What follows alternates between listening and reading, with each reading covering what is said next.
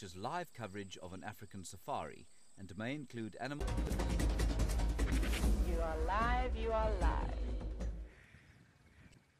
Good morning and welcome on the Sunrise Safari, the only place in the world where you will find a three hour safari, live safari, from the comfort of your living room, first thing in the morning and then in the afternoon once again. Coming to you live from Djuma, Arathusa, and the Greater Kruger National Park area of South Africa.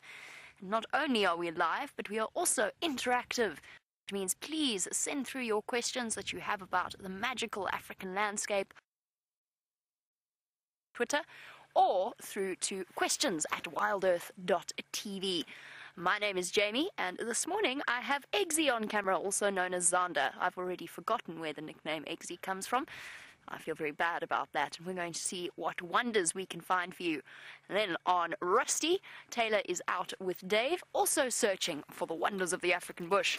Without further delay, let us head off since the sun's already way above the horizon. Eggsy and I sat here patiently waiting to show you the beautiful sunrise. We asked the sun to wait, but it wasn't having any of it. So we enjoyed the sunrise, didn't we, Eggsy? Exactly. So, thank you to Shelley and to Brett who sent through the updates about the animals coming to the Djuma Dam camera.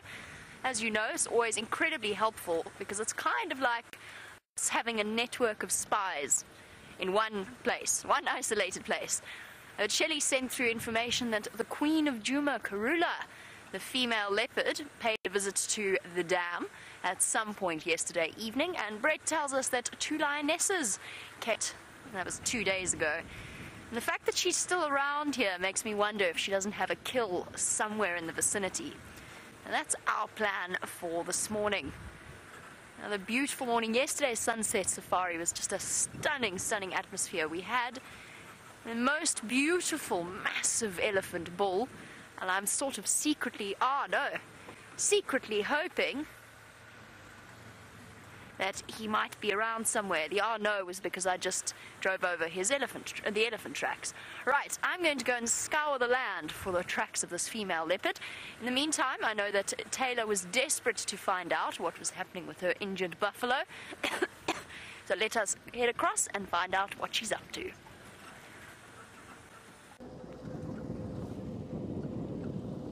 Good morning, everybody, and welcome to another amazing sunrise safari. My name is Taylor, and on camera today we've got David. Hello, David. Good morning. We're all fresh for the morning, just having a, a little look up. But it's so nice. It's finally warm. It's actually not too chilly today, which is quite exciting. However, there's a little bit of wind, I'm afraid. Ah, look at this little bird over here. Can you see that one over there? Just on that tree? So, yeah, there we go. That was a purple breasted roller, a purple roller, rather than a lilac breasted roller, which we are normally used to seeing, but now it's hiding behind the trees. And it did actually have, let me go back.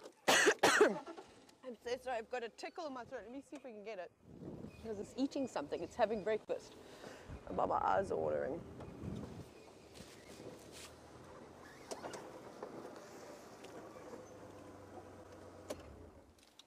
Have a look over there.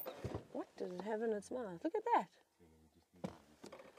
Okay, we're having a little bit of uh, technical issues. I think if we can, let's uh, hop on over to Jamie and uh, we'll be back with you shortly. I'm afraid the cameras haven't woken up this morning. Dearie me, it seems as though our camera on Rusty is having a little bit of difficulty, but that's okay, you've arrived at the perfect time. I'm going to show you what I have found for us on this beautiful morning safari. Let's play test poor Zander. There's a leopard track there, Zander. yeah, there's a leopard track there. you jump out so I can show him, and of course all of you. The Queen, the Royal Queen of Djuma Karula, walked along this road at some point last night, presumably, most likely, right after she was at the pan.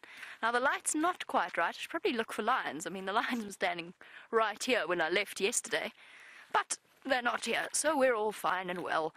The light is not fantastic for looking at tracks, so I'm actually going to trace out what I'm looking at. But over here, the tracks of the female leopard. You see them, Zander?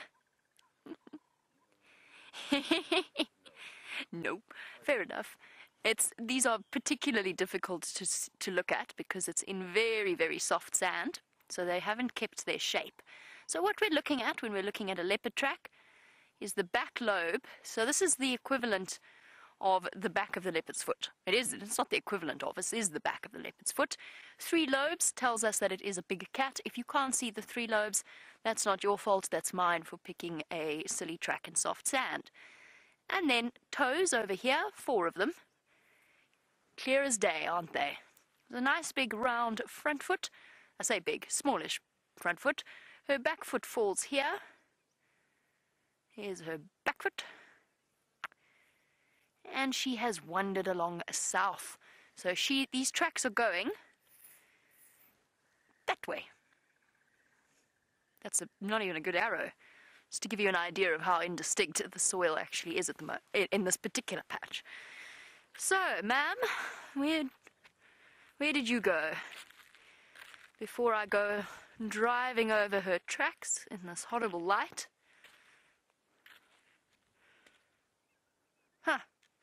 Oh, there she goes. Okie dokie. So, we are hot on the trail, and we're not hot, at least warm on the trail, of Queen Karula. And of course, I have a feeling. Well, I'm hoping it's not the case. I haven't seen her cubs in a while. It makes me wonder if she's not, perhaps, fingers crossed, on her way to go and fetch them and bring them back to Djuma.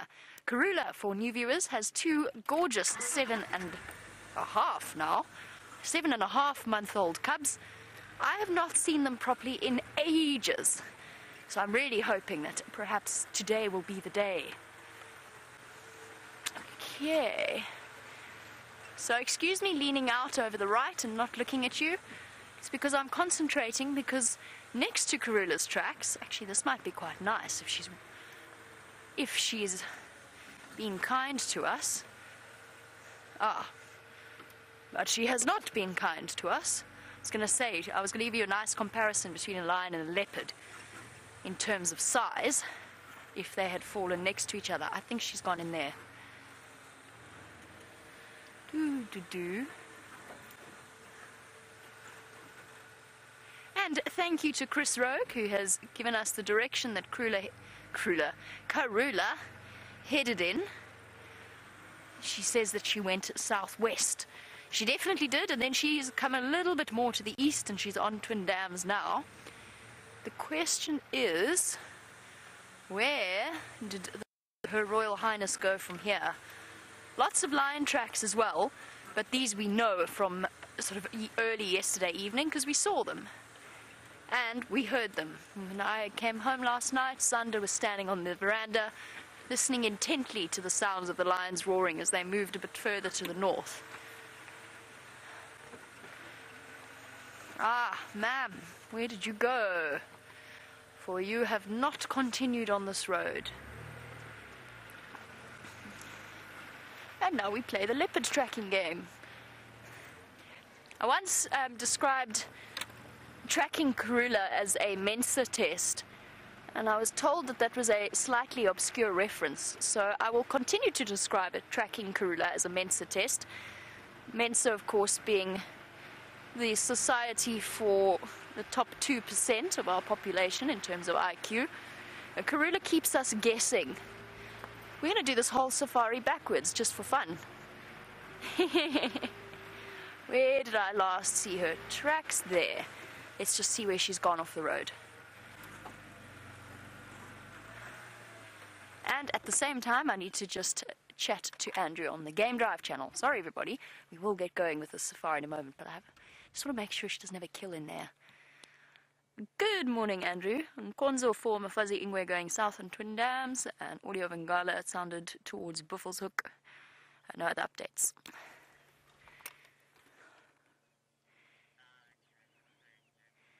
Right, where did you go? It's amazing. It's like uh, she steps off the road. Very interesting. Okay, I'm going to just go for a little wander in here. I think she might be around. I think she might be closer than we think.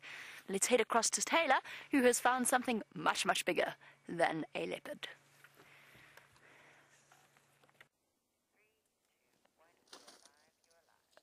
Finally, everybody, after not seeing a herd of elephants for a long time, I've managed to stumble across one and have a look at this sweet little elephant over here. Just as we arrived, it was having a little scratch, and this one seems to still be stumbling across its feet, so it looks relatively young. Look, watch it, watch how it, I don't know what it's doing. It's going up and down and over and under, not quite under, but big to go under, but it's very excited about all these logs. What are you eating? Hmm? Mountain climbing elephant? Look at the little feet. Oh, maybe it's practicing to be a trapeze artist, I'm not sure, or a tightrope walker. Look at that little bum. Very sweet. So it looks like a young female. And I don't think she is much older than about six months. She's very slightly wobbly still and hasn't quite got a good use of her trunk just yet, which is a nice indication. Look at that little front foot sneaking through the back feet. I'm waiting for it to fall over. There's not a massive herd of elephants. I can only see one, two, three, four, five elephants. There's some of the, the adults as well who are happily munching away not quite as exciting as this little elephant who is got its bum now it's tracing straight towards us. Look at it go. Isn't this a great way to start your morning? I wonder if this is. I'm just having a look here. I'm wondering if this is not the short trunk female. I just want to see it. Yes, it is. Oh, that's so exciting, everybody. So this is the short trunk family. You can see the short trunk female is that one straight in front of us. I just had a, no a notice that. I'm starting to put two and two together in the last few drives, which is so exciting. Very, very, very exciting. I'm sorry, everybody. I am just in awe of this sighting because I absolutely love the elephants and I'm really just enjoying it so much. Look at these two now.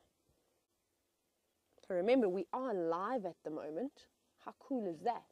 So if you'd like to interact with us this morning, I know it's early for some of you or late for some of you you're welcome to send us some questions. You can either hashtag Safari Live on Twitter or you can email us if you don't have any of the social media accounts. So you can email us at questions at wildearth.tv and I'd absolutely love to hear you. I think on my interview drive, I actually saw the short trunk family. I wasn't aware of it at the time, but the longer you watch individuals, as you all know, you start to get to know them. They all look a little bit different. Yes, I'm going to follow mom I'm going to keep by her side. But what a sweet little elephant this is. Hello. And they're walking off. They're so calm and so relaxed this morning. It really is beautiful, that golden light just coming through. What a picturesque moment this is. Here we go. There's another Look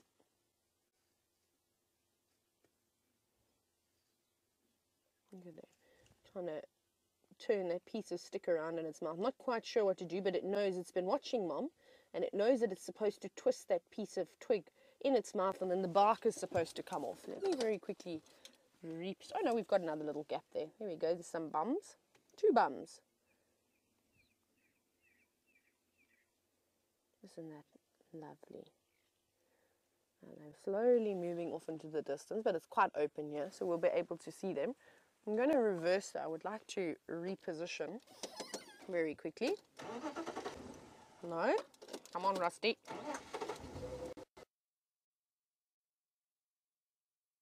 Morning. I'm going to go back because this one behind us is actually using its trunk so nicely. I'm getting really good at reversing without mirrors. Let's see. There we go. I think this is what this little one was trying to do. No, now you, how can you go behind the tree? Your face was just perfectly. Maybe I need to go back a little bit more.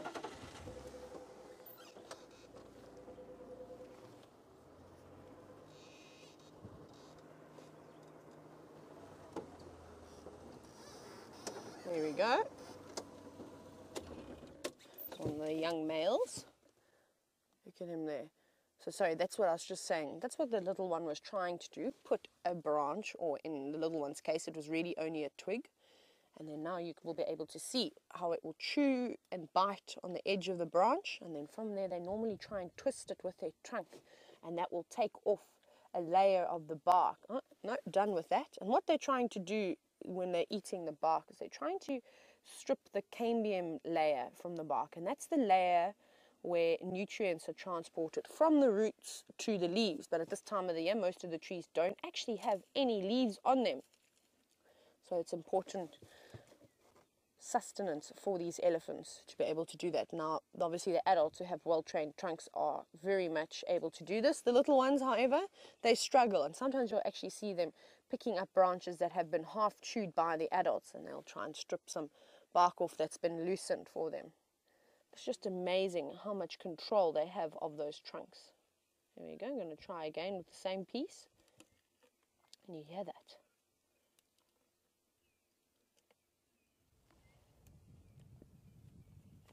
Hear that crunching. Like I said, biting down, squashing the branch a little bit, and then loosening all the bark. I think that one's actually just going to eat the entire plant, though. It's not really big. It's quite a it's called quite a young branch. So I'm sure it's quite juicy, not like the bigger piece that it had earlier. And I love how that tusk is covered in mud.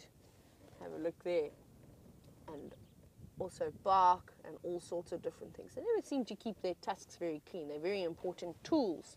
The tusks. This one's only got one. It's quite nice. I think he's going to be a nice big bull. He's quite a long tusk. He's got some very good genetics. Oh, what are you going to do? You're going to pull pull that over for us. Show us your strength. Yes. Look at that. Look how he does that with ease. You and I could probably hang from that branch and it wouldn't do anything. Now let's see what he's going to do. What's your next move? You're going to bite it? I don't think your teeth are quite strong enough to bite it off, but you may be able to break it. Are you going to just strip the bark like that? Hmm? No, not working. No one. Break it for us.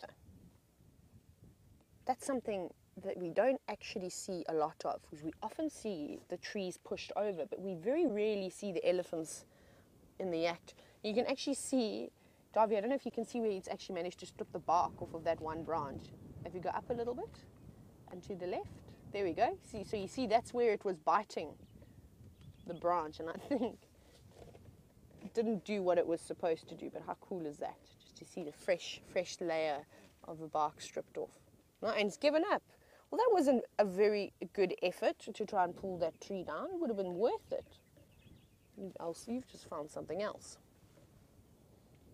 But I just love this light at this time of the morning. It's so beautiful. Ah, lovely. So we've got some of the migratory bird that Jamie's got to show you. Let's go and see those feathery creatured creatures. Oh, goodness. When any of us drive along Twin Dams Road, it would be remiss not to stop and check on our mating pair or nesting pair of Wahlberg's eagles. They're just so incredibly beautiful, and particularly in this morning light, they just look so photogenic. You can see the wind ruffling them a little bit. It's a little bit nippy this morning, not hugely so. It's 19 degrees centigrade, so 66 Fahrenheit. I just love watching them. I could sit and love that look from the one on the right. So our Wahlberg's eagles have just in the last few weeks returned to our shores. I don't know if I'd call them shores, but they've returned to this area. And our pale morph Wahlbergs have returned once again to their nests on Wahlberg's Road.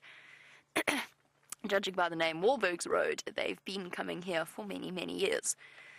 They at some point relatively soon should be egg laying. And of course, with raptors, they have a breeding season, an egg laying season, which starts round about now. But at the same time, it's different for each individual pair. Last year, we don't think they were successful, and hopefully this year will be different. They are wonderful little eagle species. And you can see, I think it's the female preening her feathers there, setting them all into alignment, preparing for her day ahead as she heads out to hunt and help to construct the nest. The reason I say I think it's the female, but it's hard to tell when they're puffed up like this, is that the female birds of prey are always slightly larger than their male companions. They are monogamous, but they only really come together when it's time for breeding. the one on the right keeps giving her such quizzical looks and tipping his head as if to say, What you doing? She does look to me bigger than the one on the left looks bigger than the one on the right, but she's also puffed up. So I'm not 100% sure, but I think it's the case. And it's just so fortunate that we get to spend as much time as we do with these lovely birds, that we start to recognize them as individuals. And of course, hopefully this year they are successful, and we get to watch a little juvenile Wahlberg's eagle. Will it be pale like its parents? Possibly, probably. What's the chances? If it's a the pale morph is a recessive gene, as far as I understand it. It's why only roughly 5 to 10% Wahlbergs are pale morph, but the fact that we've got two pale morphs means what would it be? Genetically, oh, I mean, it won't be exact, but probably about a 50% chance that their offspring will be pale like its parents, or else it'll be the normal tawny color.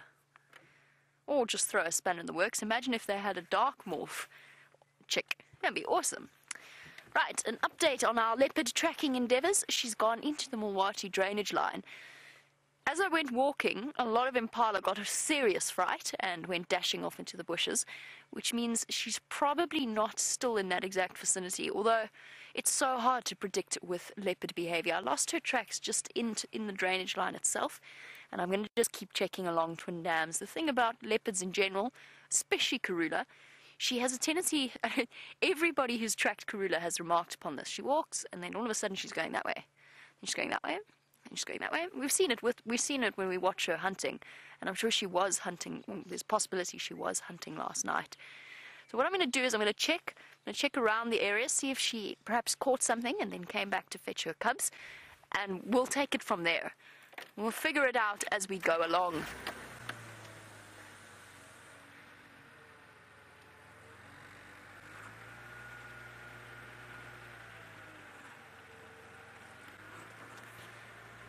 Now, David, you were wondering about, you say, how is it that different birds of prey nest in the same tree, and why is it that no problems occur? Um, I'm not 100% sure what you mean there, because both of those nests are Wahlberg's nests, and those two are a mated pair, so they're a monogamous pair. They might have problems, I don't know, I've never asked them. That's a little bit definitely not my business. But um, they they will come together at the start of every summer for us, and mate with each other and produce an egg, hopefully. So they not have they don't really have any problems in terms of other birds of prey nesting in the same region. It's uh, in the same tree. It's relatively unusual to see. You do occasionally see a vulture's nest next to a tawny eagle nest or something similar. They all like these towering, spindly-looking knob thorns to build their nests in. I've never quite understood why, but it must be to do with the comfort levels for them in terms of not getting caught up in vegetation. What is more common to see is raptors or storks building nests on top of a hammerkop. Now, hammerkop is, ooh, very nice. Up there, easy. Got him. Awesome. Talking of birds, and he's got something. How cool is that? What you got? Looks like a. What is it? Ah, some. It's a grasshopper. Amazing a hoopoe. called a hoopoe because it goes hoop hoop, hoop hoop, hoop hoop. My dad's favorite bird.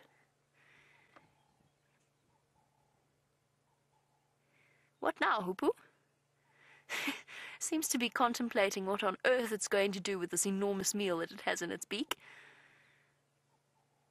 Hmm. A little bit of problem solving needed here because, of course, birds do not have teeth. Not that that really needed clarifying.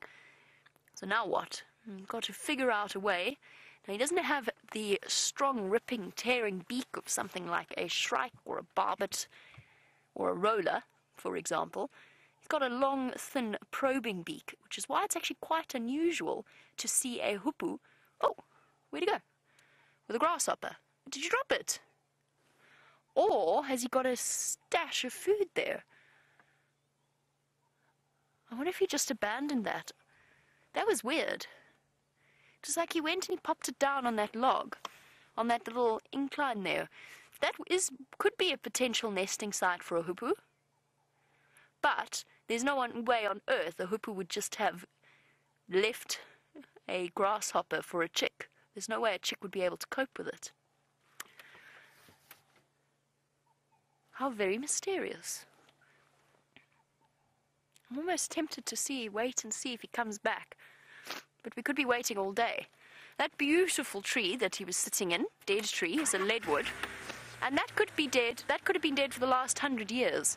That is the amazing thing about a leadwood tree, is that it is so solid and termite resistant and wood borer resistant that it makes these incredible homes for animals, and I'd love to know what's living in that hole. Wonder what's there. I'm not going to go and stick my hand in there, that would be a terrible idea. But this whole tree is its own little ecosystem. A dead tree that provides shelter. I mean, if we look further up, we've got holes all along this tree. Provides homes for all kinds of different animals for many, many, many years to come.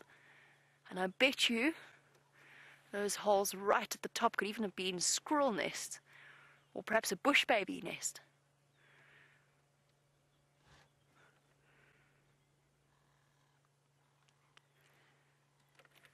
Ah, there we go. Speaking, and of course, there could be multiple bird species nesting in this tree. And we go back to the question that we had earlier, which was why is it that birds all feel comfortable nesting in the same place? And Debbie in Vancouver, you were saying that you saw, what was it? Was it vultures nesting, red billed buffalo weavers? And what was the other thing?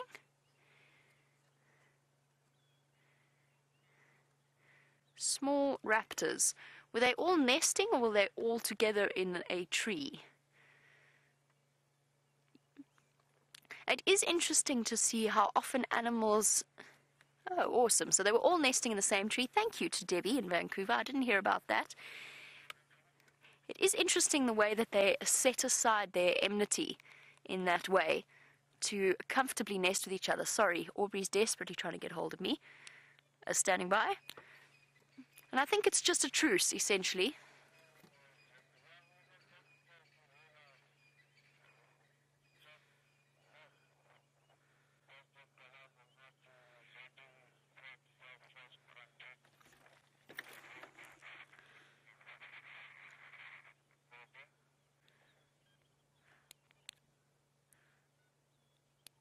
Copy that. Thanks, Orbs. I'm going to make my way there now. Uh, my best approach would be quarantine. Let's go. Leadwood tree is lovely, but Karula has sent me in the wrong direction because she's just pop, about to pop out there. Whee! We'll get back to the question of the birds because it's an interesting one. But for now, I'm going to race to the Queen and I'm going to send you back over to Taylor who has some wildebeest.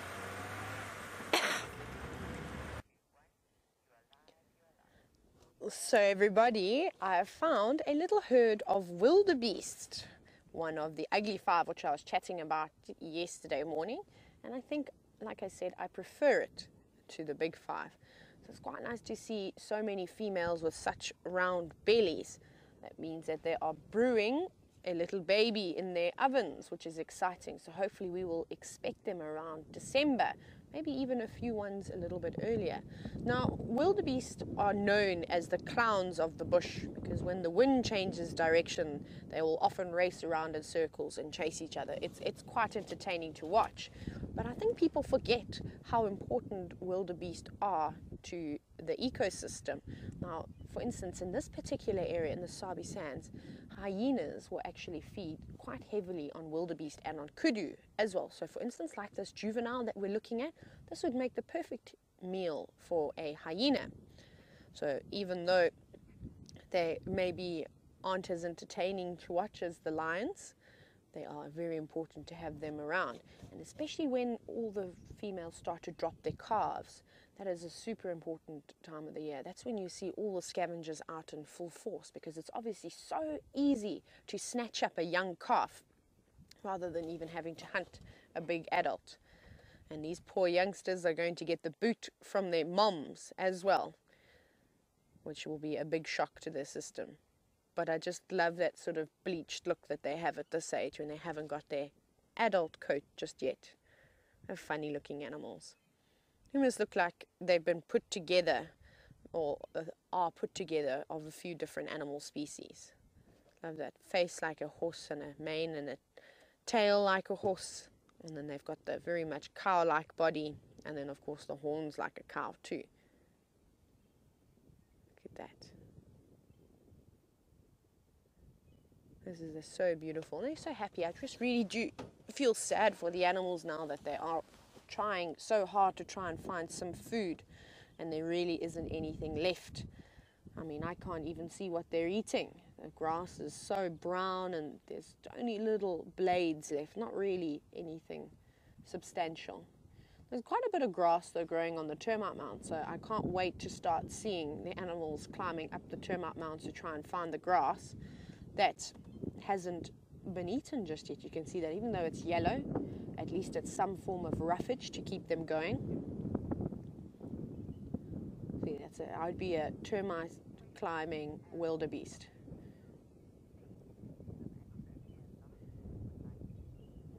Aaron wants to know if there's any species of antelope that I have not seen. Aaron, of course. I haven't traveled throughout Africa, so there are so many different types of antelope species that I have yet to see. Um, I'm trying to think which one I really want to see the most. I wouldn't mind seeing a Thomson's gazelle. I actually drove the great granddaughter of the gentleman who named that antelope or discovered that antelope species. So I've always that's always been on my list. This was many many years ago. I'm not actually even sure where I'd have to go to see that. Maybe I should have a look at my mammals book. Let's see if I can find Thomson's gazelle and I can do a bit more research about it. But they are really, really lovely animals. And who else? I haven't seen a lechwe yet. I'd like to see a lechwe and a sitatunga. I think a sitatunga, which is, I think, if I'm not mistaken, are related to kudu and inyala. I'd really like to have a look at them. Right, what was I looking for? Let's go. Gazelle. Yes, I'm just, my eyes are not working this morning in my book and I'm trying to find it. Let's see where you are. So the wind is picking up today. Why can't I find you? Where is Gazelle? Why are you hiding away? Maybe you are. Hmm.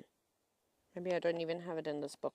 It's a very old book and also all the pages are stuck together so that would be terrible if I couldn't even open a picture to find it for you or maybe it's doing ah that's why I'm sorry I'm being very silly I actually where's T let me try that way.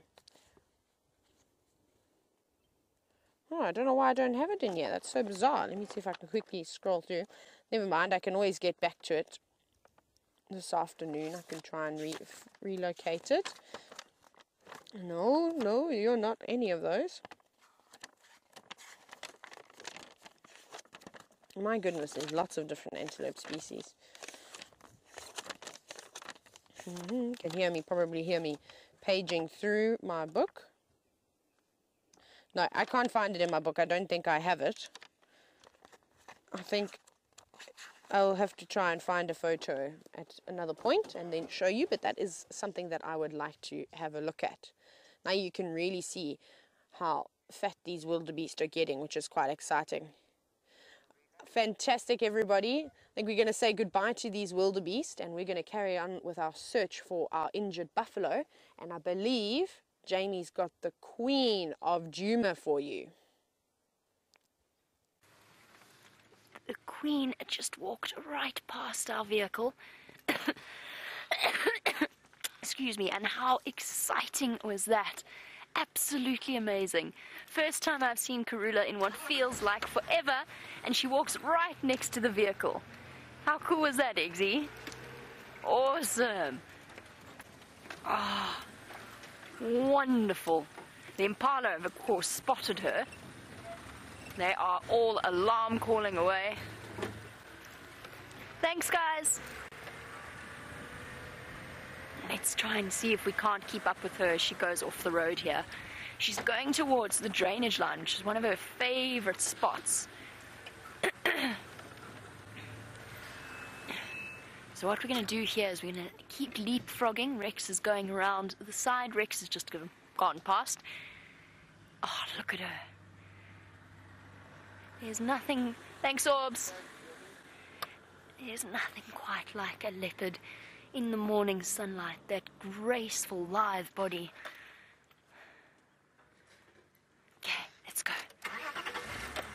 She knows the game is up. She has not eaten last night.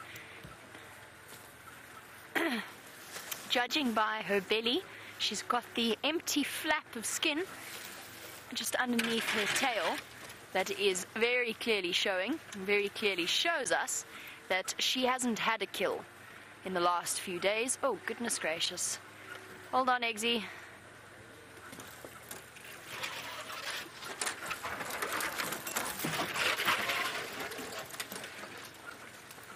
This is where things get difficult. Sorry about the noise, everybody. There she goes. She is moving towards the drainage line. But yes, sorry about the noise. I went to squeeze past some trees. There she goes. Okay.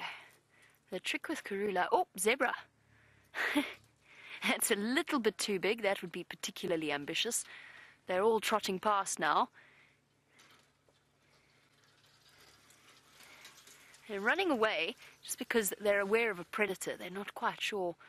They don't think they're being hunted really by a leopard. She's not a threat to them. She goes. Okay, let's not let her get too far away. I'm going to switch on and catch up with her.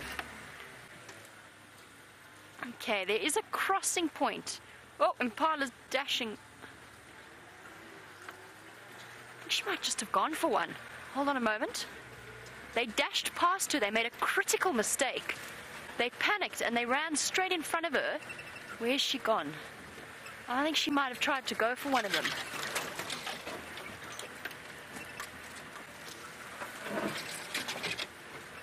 The dangers of panicking here in the bush and that herding instinct, even though they'd spotted her, her element of surprise is gone, but her reflexes are exceptionally good, and I think she's just gone after them. Everybody hold on. They just made a crucial, crucial error. I think she's gone for one of them. Eggsy, you keeping your eyes peeled.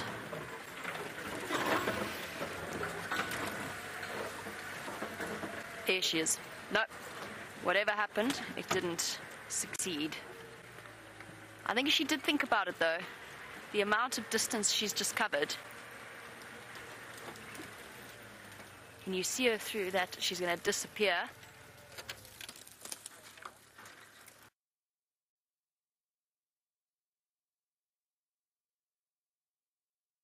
Going to go? Which way is she going to go?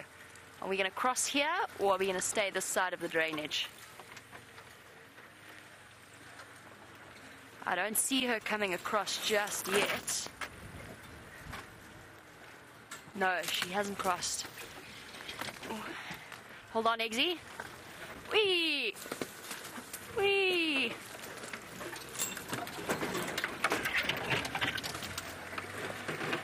What a way to start a morning. She goes on the termite mound.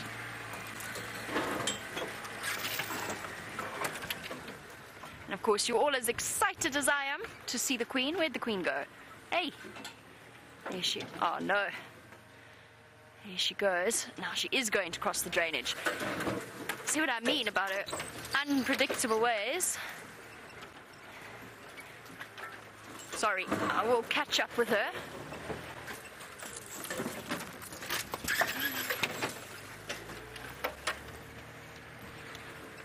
We're gonna keep catching up with her, but we've got some tricky stuff to get through and a tricky drainage line to cross.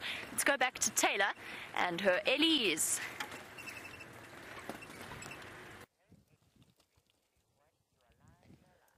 All right, everybody, I've just decided I'm going to stay with the elephants the entire morning. We managed to stumble across some more. Short Trunk and her family disappeared into some thick vegetation, and we were surprised by a few more elephants, probably a few hundred meters up the road, which was very nice. And this female cow is so close to the vehicle. She's probably only about 10 meters away. Can you believe it? And look how relaxed she is. She doesn't even care that we're here.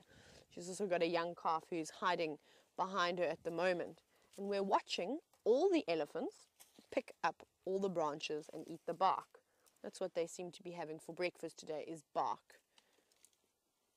You know, eat that. See, watch this now. Now we can see it quite nicely because she's so close. How she chews, bites down nice and hard. I love how she's, while she's busy with that one, she's looking for her next meal as well. Always hungry. So elephants are needing to eat quite a large amount of vegetation every single day. And I'm sure you've all heard this before, but I know there's some new viewers that are most likely watching us today. So elephants haven't got the greatest digestive system. They're only digesting about 40% of their food. So they need to eat lots of it and a variety of it. So they're feeding for about 19 hours a day. And you can see how that female got exactly what she wanted, getting the cambium level off the bark. And now she's reaching for another piece. No, didn't like anything there. Now she's going to move off. Now you can see her little calf that's popping out. And the little calf is actually utilizing a branch that mom has already broken. And there's little bits of bark that that youngster can strip off much easier. There we go. You can see that that branch was already chewed by mom. And this little one is going to use it now.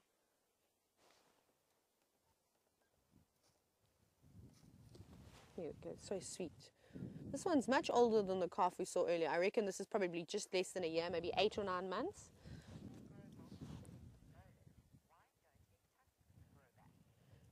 Thomas wants to know if these elephants have multiple sets, they only have six sets of molars, just by the way, Thomas, why don't their tusks grow back? Now, their tusks are not used in the same way that their molars are. They, they're not grinding down their tusks to chew their food. Their tusks have now become a modification and are more used as a digging tool rather than sort of crushing and grinding up the food like the molars are used. So there is no need, or they don't wear down at the rate at which the molars do. So that is why over many, many, many years or hundreds of thousands of years, their tusks have adapted uniquely and are almost not even used like a normal tooth would be used. Look at that little one being pushed away by mom's tusk. There we go. It's now also a pushing tool, not only a digging tool. Can move a calf out of the way when little one gets under mom's feet. But it's amazing how gentle she is around that little one as well. Now she's sort of saying, just move out the way. Let, let me handle this. Let me push this over for you. Look at that, using her feet. See, they use everything. They use their trunk, they use their tusks, and they use their feet all in one go. There we go. That's, that's so much clever. So that is so clever. Sorry. There you go. Breaking multiple branches. And now that little one will probably also come in and start munching away on the ones that mom has broken for it. But they are all feeding on the bush willow trees at the moment, from the variable to the large fruited. They really are enjoying their bark at the moment.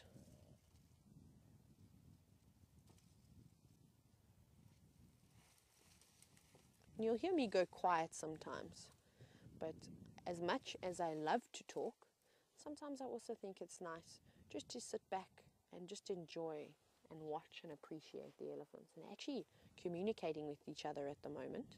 One just let off a stomach rumble in the distance. I think it was too soft for you all to hear back at home. Now you can see how that female is looking away. It's as if they said, right, everybody, come on, let's keep moving. And that's exactly what they look like they're going to do, moving in the direction of that other female. And this little one's quite happy to stay munching on this little branch. Look at that.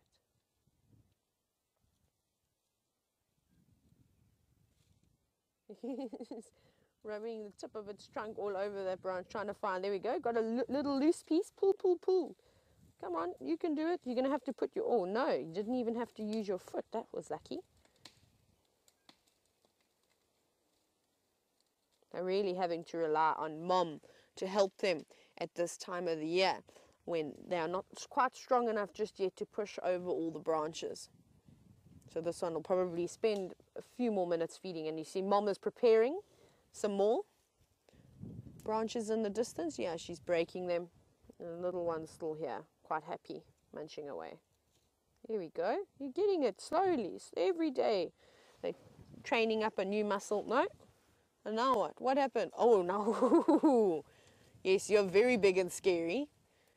Yeah, sort of just saying to us, yes, and keep on walking. you only did that because mom is just around the corner. If mom wasn't here, you wouldn't be so brave. How lovely is that? They're going into the thicket now. Well, not that it's really, really thick.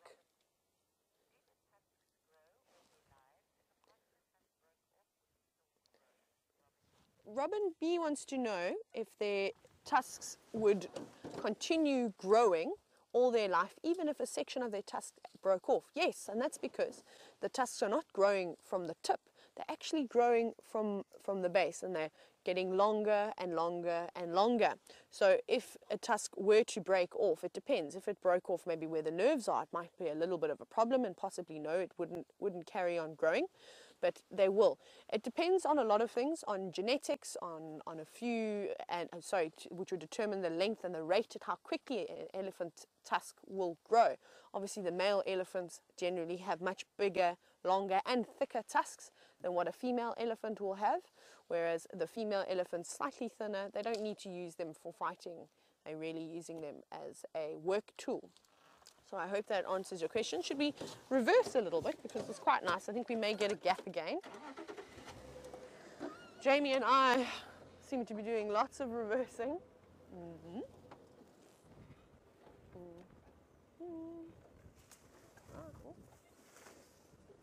I'm sounding like an elephant now. Hello and thank you elephants for popping out into the open.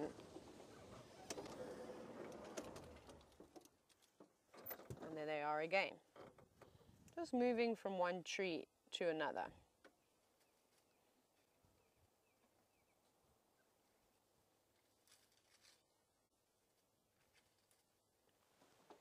This light is just so lovely, but it's changing so quickly. In the next 15 to 20 minutes, the light will be really, really hot. The sun is rising so quickly. At there.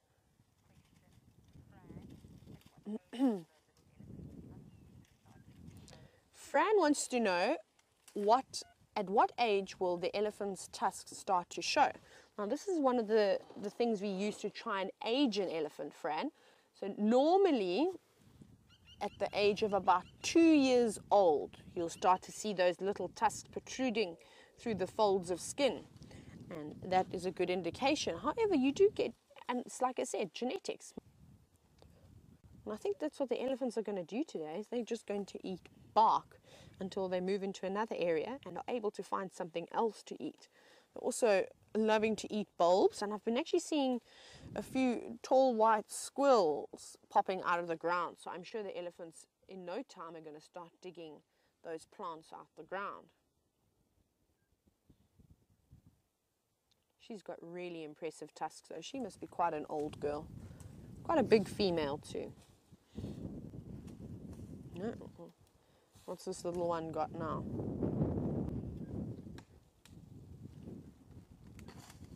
Oh, Mom's just breaking everything. Very, very curious, this little one. How on earth did you do this, Mom? It's con- you see the amount of concentration that little one has to put on in, in order to try and pull a little piece of bark. You can just see the tip of his trunk below that branch. Lots of concentration going on there.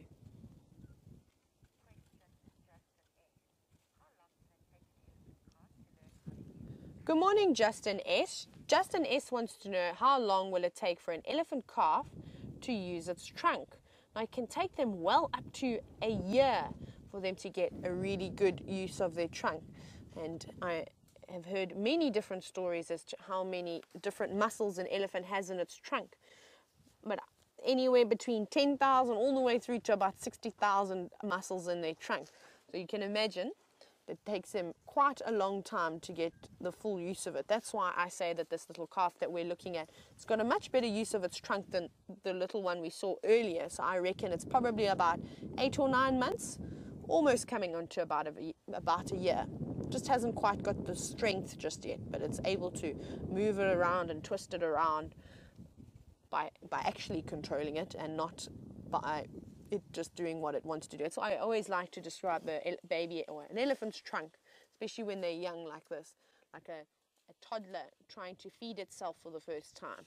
You know how they sort of go in with a spoon and then they poke it in their eye and then they put it in their nose and their mom's got to wipe their faces. That's exactly what happens with these elephants as well.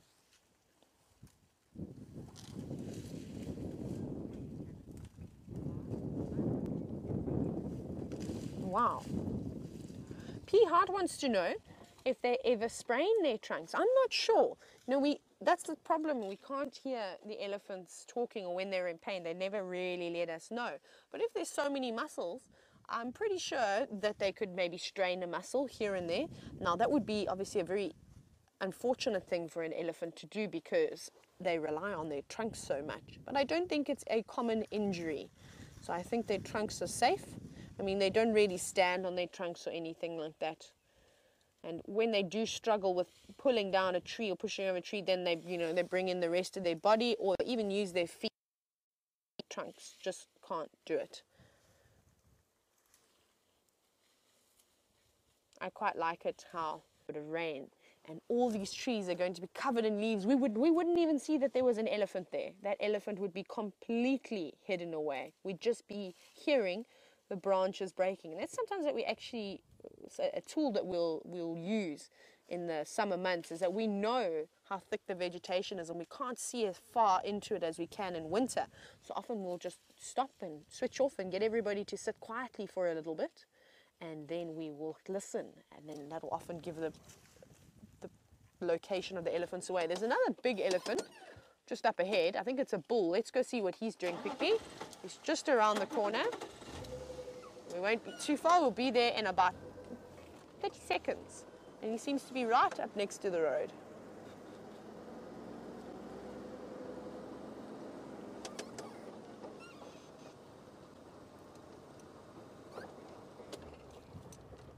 We're to go mode. Hello. Yes, we have a young elephant bull. Look at you. To have lots of branches in our that are obstructing our view. I wish he'd just come over and remove that one that's across his face. This is a young elephant bull. He's probably around anywhere between 15 and 18 years old. He's, he's getting big. I reckon he's getting to the point in his life where the females are going to try and push him out. He's getting old enough now so maybe in the next year or two, maybe the process has already started because he's a fair distance away from the rest of the, the herd. The female we were looking at earlier, she was right at the back. Oh, look at that. How cool is that?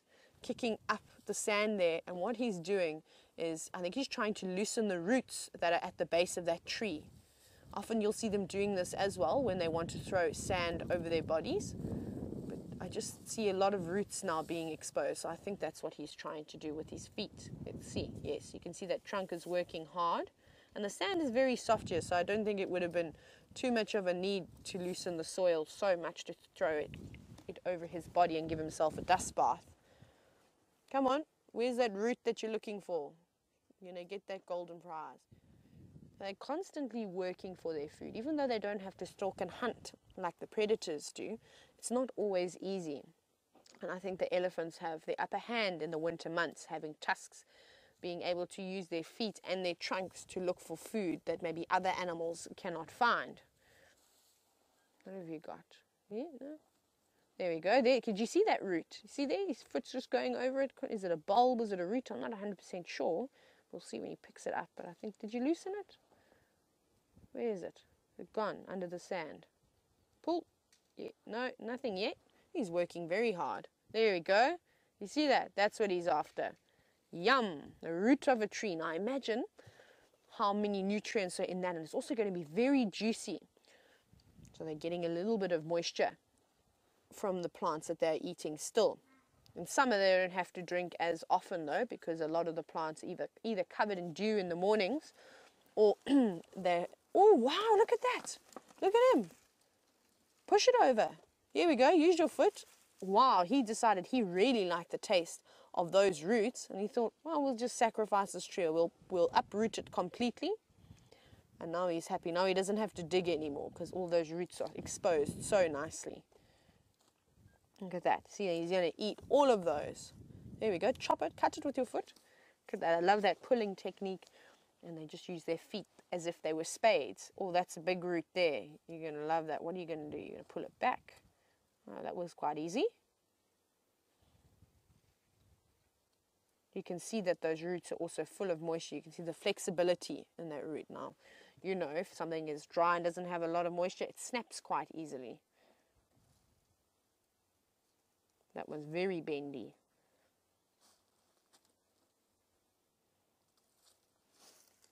Oh. Isn't that amazing? Look how much, I'm really surprised as to how much sand they're able to scoop up with their feet. I don't know if you saw that back there. That's really impressive. Oh, look, now he's happy. He's got a big piece of root in his mouth. It's like chewing a piece of celery, I suppose. Not that I like celery, I wouldn't chew that.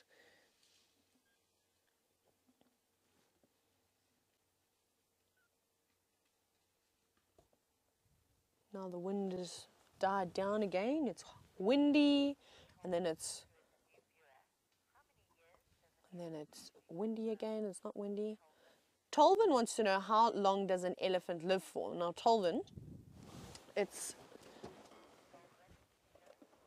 Sorry, I've got the sun straight into my eyes. So Tolvin Tilo wants to know how long an elephant lives for. Sorry, everybody, I'm repeating that. I'm trying to hide behind the sun. it's getting me straight in the eyes. I'll try and keep my eyes open for as long as possible. You may see them water just now, what I do for you viewers. So Tolvin is actually a new viewer, so welcome. So it depends on quite a few different things. We were talking about the teeth earlier. I don't know if you managed to see that the sun is this side. yes, amazing. Ah, oh, thank you, David. David is shielding the sun from my eyes. Okay, that is so much better. Um, so, so with them only having six sets of molars, so if they reckon every 10 years or so, a set of molars will push up from the back and move forward like a conveyor belt. So if they've only got six sets of molars, they reckon that they live anywhere between 60 and 70 years. So depending on the vegetation that they're eating, it'll wear down their teeth quicker. Now in the winter months, obviously everything is extremely dry, so their teeth are going to wear down at a lot quicker rate. So hopefully we get a lot of rain and then it gives them a bit of a, an opportunity to eat some nice soft vegetation. So as this happens, when they get to their final set of teeth, they then unfortunately are not going to be able to eat as much as what they would. And so elephants don't starve to death, they sort of end up dying of malnutrition. It's a very long, slow process. It could take a few months, it could take a few weeks. It just depends on the availability of food. And that's, that's when you often see elephants moving around towards watering holes. Here we go. Or or any even just living along the banks of rivers where the vegetation is nice and soft. So I hope that answers your question, but it's anywhere between 60 and 70 years old, possibly even younger. But look at that. He's doing that with ease. That's incredible. I can't believe how easily he pushed over that tree. And that's what the elephant will do in order to get those roots. So Jamie's managed to relocate Karula in the thick vegetation. So I'm going to send you on over to her to have a look at the spotted queen. The royal queen sent us on quite the, I don't know, I suppose, quite the journey through the drainage line. She is now perched atop her termite mound throne, surveying all that the light touches, so to speak. Isn't that a, an absolutely gorgeous view of this particular leopard? Oh, and we're off again. Oh, Karula, keeping us busy. There she goes towards the other side of the drainage line. Let's just wait and see whether or not she's going to keep going in the drainage or if she's going to go to the other side of it. Basically, what she's been doing, she's been crisscrossing this drainage line and we can't get the vehicles across it, so we're kind of bouncing that way. So we get here and then she goes that way and then she goes that way. It doesn't matter to her, I mean, she can just go wherever she wants, but for us, it's a little bit more tricky. I've been slapped across the face a few times. One branch took my hat off completely. Right. And on we go.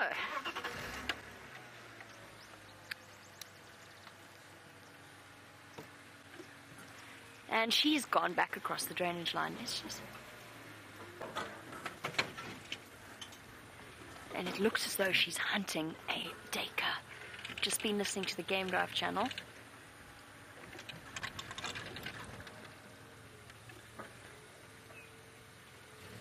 Whoopsies. Playing car Tetris again. Where did she go? You got her ahead. Where?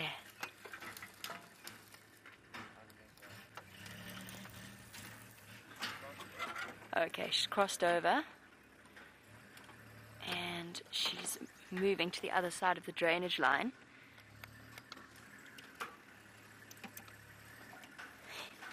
I'm sorry. I hate to keep doing this to you, but she is keeping us busy, and we don't want to um, in any way disturb her. So we're going to go across, get back to the other side. While we do, I'm going to send you back across to Taylor.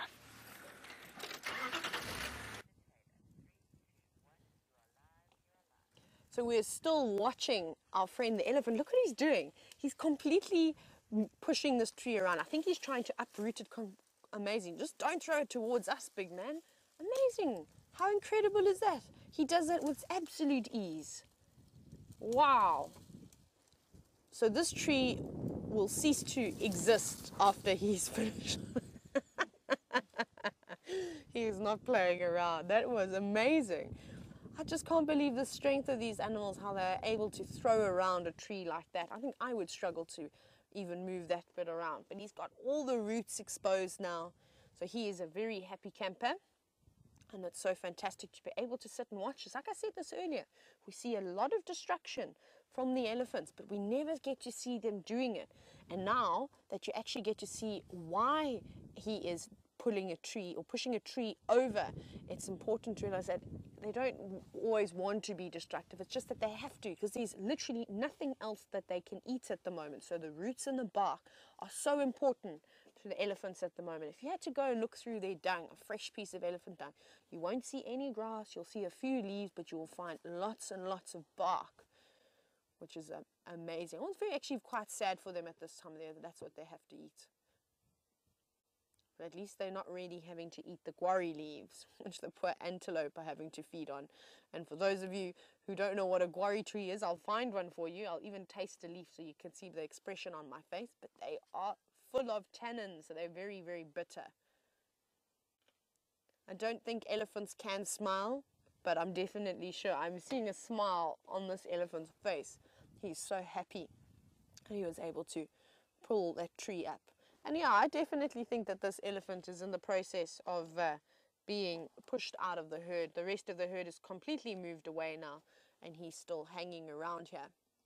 So that's quite nice to see as well, not just him pulling the trees up and pushing them over, but also to see this slow process where he is being asked to leave the herd and where he's going to have to move on and maybe find another young elephant, or maybe he'll find a big early bull like Jamie had yesterday and follow him for a few years and learn from him, and he will basically be a mentor. Okay, there you go. Pull it right up, strip it nicely for us. Oh, I didn't like that one, decided we'll go for something smaller.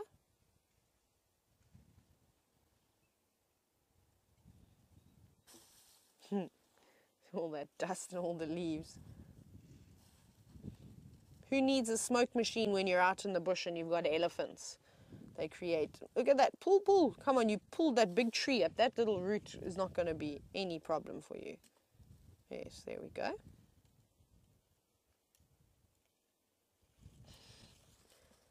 Whee! it almost swung back and hit him in the head.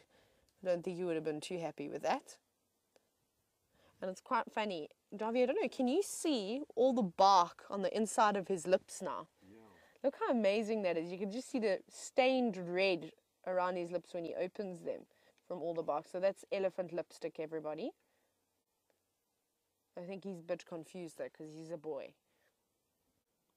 Maybe it's just a tinted lip ice. I'm not sure. He's Okay, everybody, we've got Karula back again, so I'm going to send you over to have a little look at her while we hang around with the elephants. Karula on the move once again, keeping us guessing. Isn't it amazing how her tracks where I started this morning were leading in completely the opposite direction, but we've now gone full circle and she's heading back to almost where I lost her, or coming close to where I lost her tracks earlier. So she's doing circles within circles, definitely looking for something to eat. And stopping every now and then to listen. And we're just going to let one of the vehicles go past. They're going to cut in front of us. Nobody panic. We will catch up with her in a moment. Obviously, lots of people want to have a view of the wonderful queen. Go ahead, yours. So we're just going to lose view for a moment. There we go.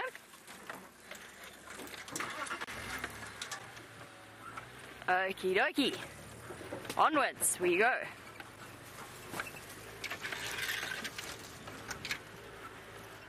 Awesome way to start off a morning. And I'm really hoping, because we do have a school drive this morning, I'm really, really hoping that we get to keep her for them so that the kids have a chance to see her as well.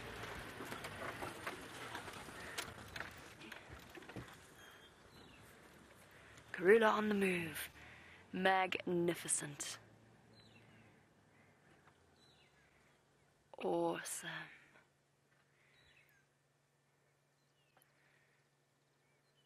Isn't that beautiful? Imagine how excited the people in that vehicle are to have an experience like that. See, she is hungry. She's looking very sleek and thin. Not thin, sorry, not thin, just like she hasn't eaten in a few days. She's in perfectly good condition. Okay, now, just when we thought things were tricky, she takes us into this block. Ahem, num num. Here we go. I'm going to stay just watching her for the moment. I don't want to move just yet. I just want to gauge her direction. Well, that was pretty conclusive. Straight towards Ingwe Alley. Let's go. Now we can go.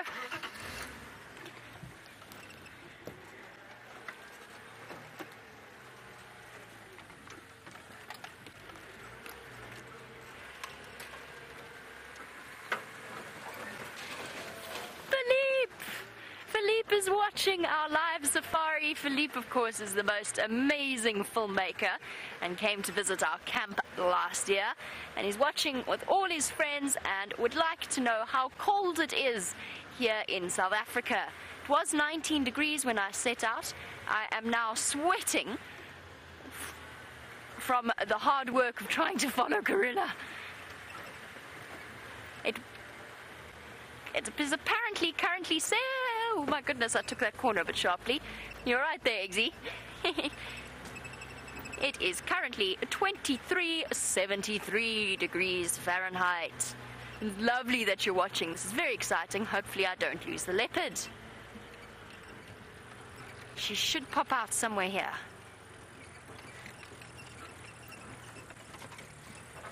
just switch off and listen for yours. Oh, there he is. She's gonna come here soon. There's yours. Where's Karula? All right, everybody, intently focused on the spots moving through the bush. Where is she? Where is she? Where is she? Let's just stop here. She's, she should come right to us. Let's just watch for spots.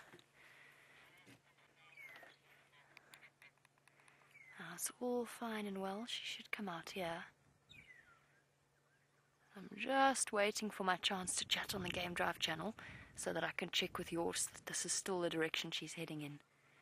And she hasn't suddenly decided to go north.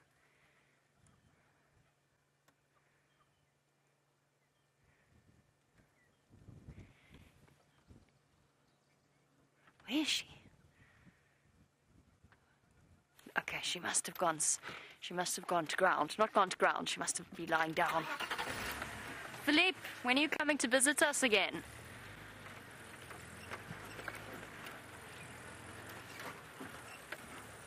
Okay, I think I've got a gap to talk. Yours, do you have still a visual?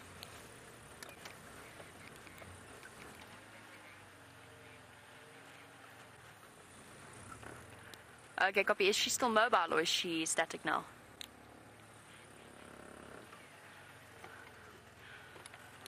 Copy, thanks. Cool. She's sat down on a termite mound again, posing regally as only Karula can pose. Just noticed that my hair is definitely not in the same condition it was in when I started. Oh well. Where you big girl? She must be on that termite mound.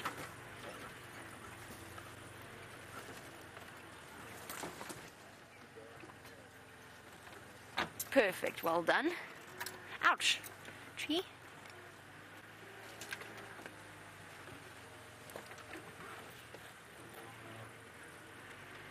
Red. Of course, one of the lovely things about all leopards, but Karula especially, is that twitching tail with its tip of white. Well spotted, Zander. Very well spotted. And you want to know if they can curl up their tails into a coil type.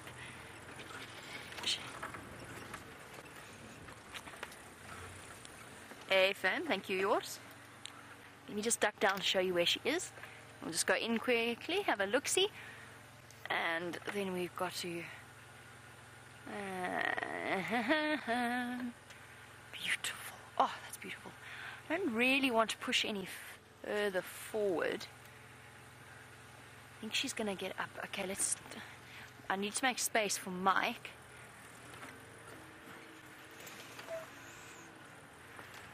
Right, so can they curl up their tail? No, they can't. The, the tightest they can do is sort of a little curl. I'm trying to make space for Mike so he can see her too, and it's unfortunately put me in a really difficult position. I don't to.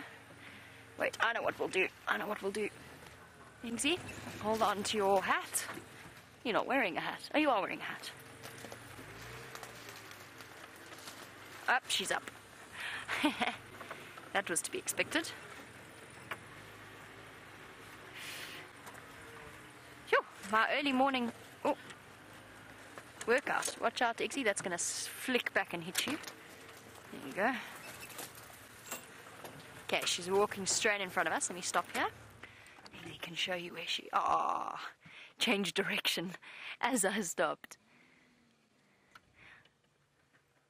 So a leopard's tail, because it's it's boned, it has bones in it, can only curl a, to a certain extent, and they're quite large vertebrae because a leopard's tail, it's not like a the pre, almost prehensile tail of a vervet monkey, for example.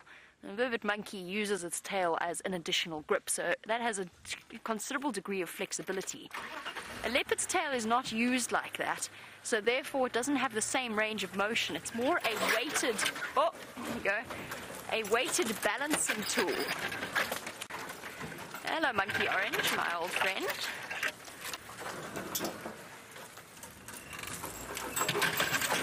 Watch out, Eggsy. That's, oh, that is going to flick at you. Okay, it's going to spring back up. Watch. Okay, here we go. this is so much fun. Are you having fun? I'm having fun. I'm... Oh, now, Calvin, you wanted to know if she's hunting right now. And the answer is yes. She's not actively stalking just at the moment, but just look at her body posture here. Look at the way that she's standing, casting about, using things like termite mounds and big logs to check out her surroundings. And yes, if she spots something, she's looking for something to hunt. If she spots something, then she's going to go into serious stalk mode. You're casting her head backwards and forwards. Isn't that an awesome, awesome shot? And slinking over the top of the log, and off she goes.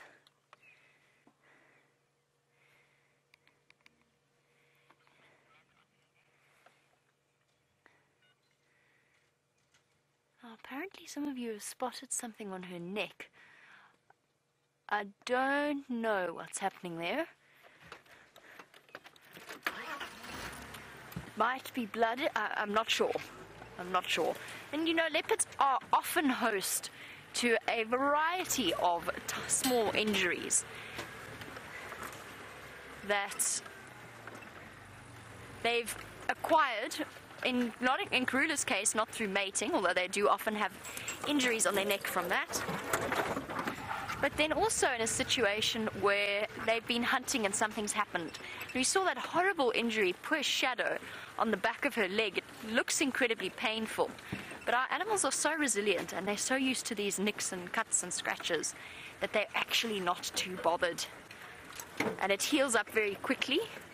They don't get infections like human beings get infections. They've got much more resilient immune system. Just hold on. She did a little trot there. No, I think that was just to get her to the termite mound. Never mind. Sorry, Eggsy. Hmm, Go back, reposition.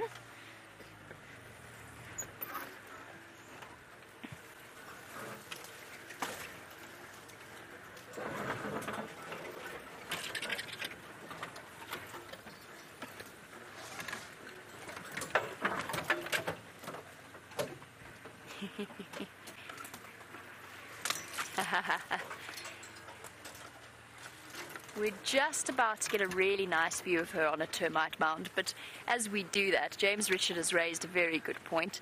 Wouldn't really be a Karula sighting if she made it easy for us, now would it? There.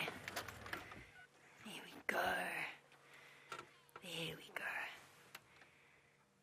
You're right, James, but. Right, let's examine her neck. Which side of her neck was it on? Might even just be a popped tick. Don't see any blood on her. Maybe a little. No. She looks fine. From this side, at least. Every now and again, they have a tick sitting on the back of their neck where they can't reach with their tongues, and they scratch it and it bursts. And that sometimes also causes a little bit of blood around the fur. Isn't she beautiful? How's this light? Stunning. Absolutely stunning.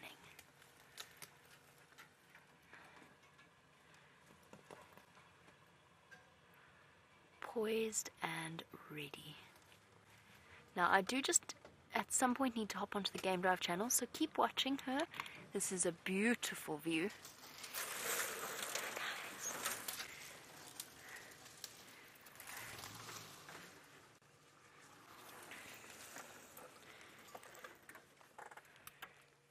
Just look at that.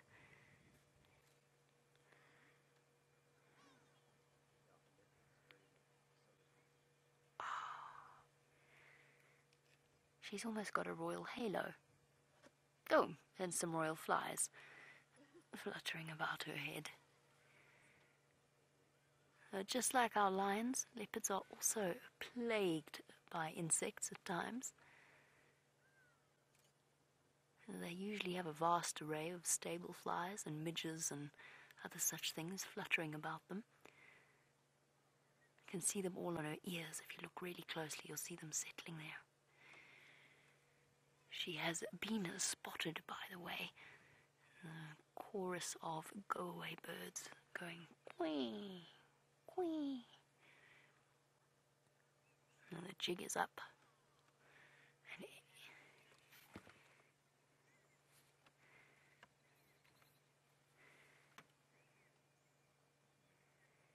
Uh, Eddie Abbey, you're wondering about the spot pattern of a leopard. You're wondering what does it mean when we talk about a 4-3 or anything like that. And basically, oh, it is blood. Sorry. It looks a little bit damp on the right side there. I think she's just scratched a tick. So essentially what it refers to, the numbers 4, 3, 3, 3, 2, 3, they all refer to the number of spots on the top row of the whisker, of the whisker pattern. So in this case, if you count the spots, you'll be able to see, I think it's three there. I never worked with spot patterns like this, so it's a new system for me since I started working here. Is she chuffing there a little bit, or was it just a deep breath? I think it was just a deep breath. Yeah, so you look at the left side and then the right side. Um, for us, the way that we're looking at her now, it'll also be so it'll be right, left to right, and then they give a number of the top, the spots on the top row. So if it's four three, they've got four on one side and three on the other. Four four is quite unusual, and I believe that's what Inkanyeni has, if I'm not very much mistaken. Who, of course, I thought I saw, but I didn't. And once you spend a little bit of time with them, then of course it becomes really very easy to recognize individuals. And Karula's distinctive shadows, distinctive. We spend so much time with them that you just look, take one look at them and you know which leopard you're with.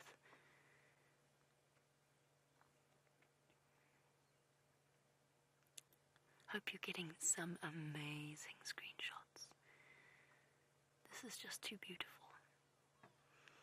I mentioned yesterday, and then I got distracted, the idea of the photogenic five. Leopard is definitely in the photogenic five.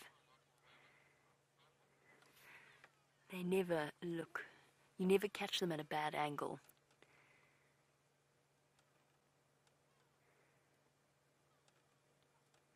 Now, one thing I will do on the subject of whisker spots is I'll go into it in a little bit more depth after we're finished with the sighting. But David, you wanted to know why the flies are attracted to Karula. And the answer is if they're stable flies, which some of them might be, then they are settling around her so that they can bite her and siphon up a little bit of blood. So kind of like ticks and exoparasites. A lot of those will be stable flies, biting flies, and they're after her. They're attracted to most things like mosquitoes and flies are often attracted to carbon dioxide exhalation. Oh, and she's off. And then also, leopards are not clean creatures. We like to think of them as clean, but they are often quite smelly creatures. Look at her go. This is awesome. Keep my head down.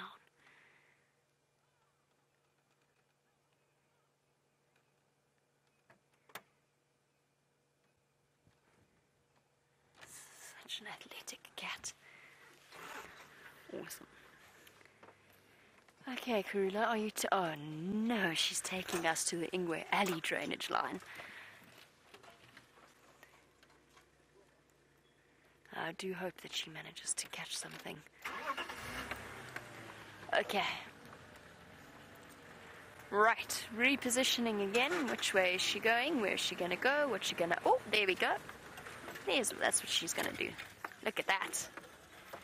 See, moving from termite mound to termite mound, and essentially that just gives her a slightly higher view so she can look across with a better perspective. And usually termite mounds come with a great deal of, co- or often come with plenty of cover.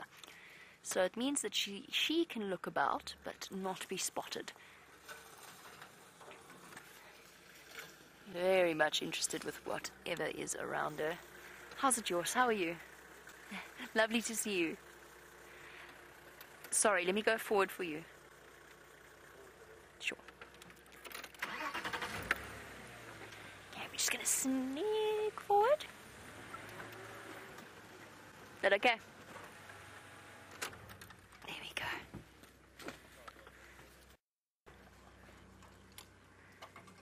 They're also attracted to the microscopic bacteria and bits of dirt that gather, flakes of skin and so on, on the leopard and in its fur, and occasionally even leftover bits of blood as well from a kill, although leopards are a little bit more fastidious than lions in that respect. You watch Karula after she's had a big meal, she always settles down to give herself a jolly good clean. And she can't help the fact that her saliva is full of bacteria.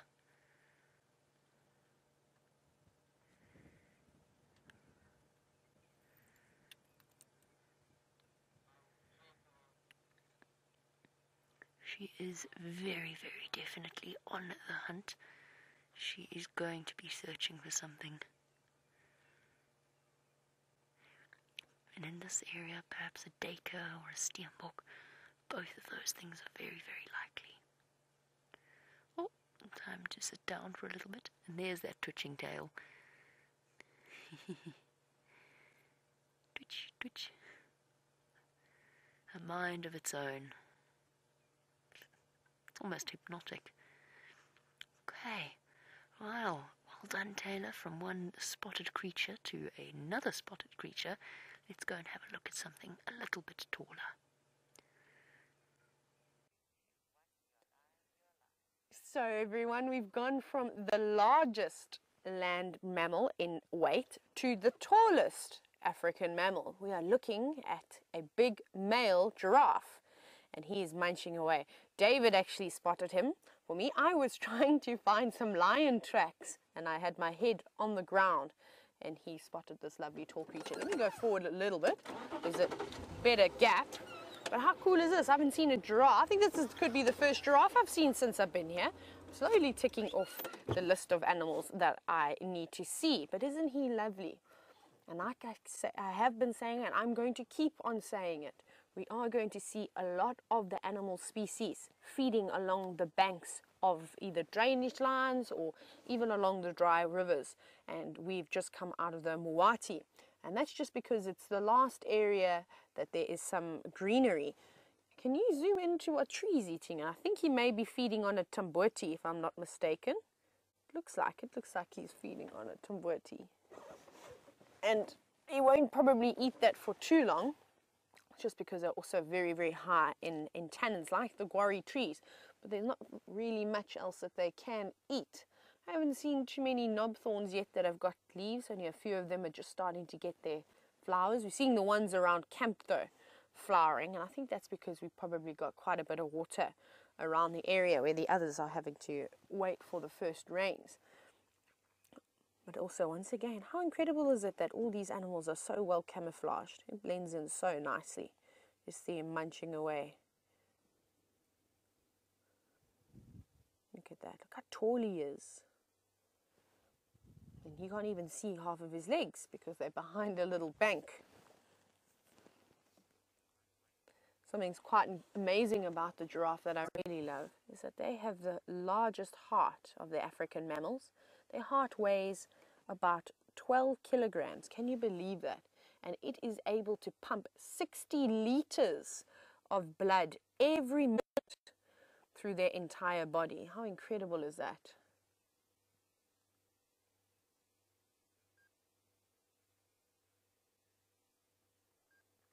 Really nice. Oh, what else can I hear? Can hear something breaking in the distance. So we are also listening out and looking for the lions this morning. So I'm hoping that while we are sitting and having a quick look at this giraffe, that some of the other rangers are going to be able to find them. Sorry, I'm just I can just hear something else breaking branches in the distance. I just want to very quickly listen for two seconds.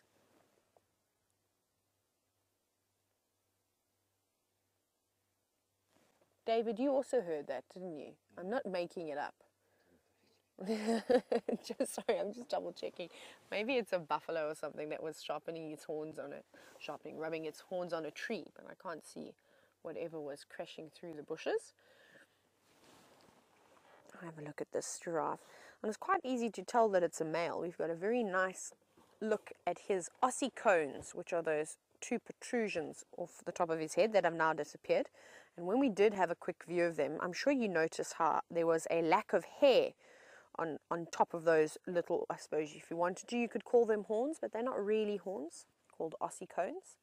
And I'm going to have to go forward again so we can actually see that we're looking at a giraffe and not a headless giraffe. We'll have a nice gap just now. Sorry, I keep squeaky, putting the brake a bit hard. So that's probably the easiest way to be able to be able to tell how um, to be able to tell the difference between a male and a female. Sorry, I lost my train of thought there. It was just by looking at the ossicones, because that's often the only part of a giraffe that you can see is just the tip of its head. And one of my favorite words in in Xhosa or Zulu is the word for giraffe, which is dlamiti, and the translation is amazing. It is a horse with its head above the trees. I really love that. And that's what we're seeing now. It would be nice if he was facing the other way though. So with the females, the females have got very long tufts of black hair on top of their ossicones. And their face also isn't as, I would say, ugly as the males. I think the females are a lot prettier. Their face is a lot finer. No big calcium deposits like the males tend to have. You can see when every now and then when he turns his head to the side, sort of between his eyes, he's got this big, it looks like a big callus on top of his head. Do you see that? And now as a giraffe gets older, they start to develop more and more of these big calluses and these calcium deposits. And they reckon that by the time a giraffe reaches the age of about 10 years, he's got about 7 kilograms worth of these calcium deposits on his face. And that's why I say that the females are a lot prettier, because they lack these calcium deposits. And now he's hiding away behind the trees.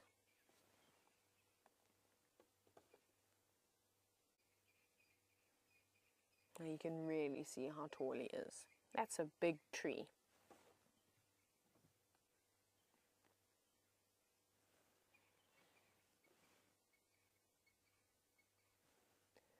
Think what we're going to do now is I'd really like to try and find these lions and this giraffe is now hiding away behind all of the trees. Hello, Red. Sorry, I've got the sun again.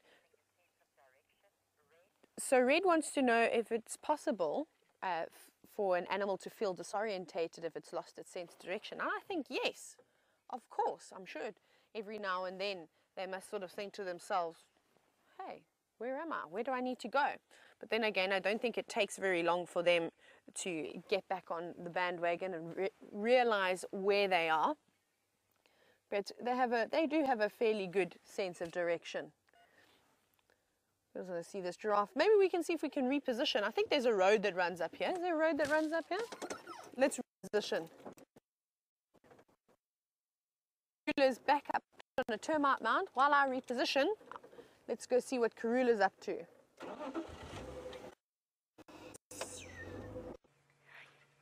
From a termite mound to termite mound, that is what the Queen is up to for now and giving us a beautiful view once again of her hypnotizing tail.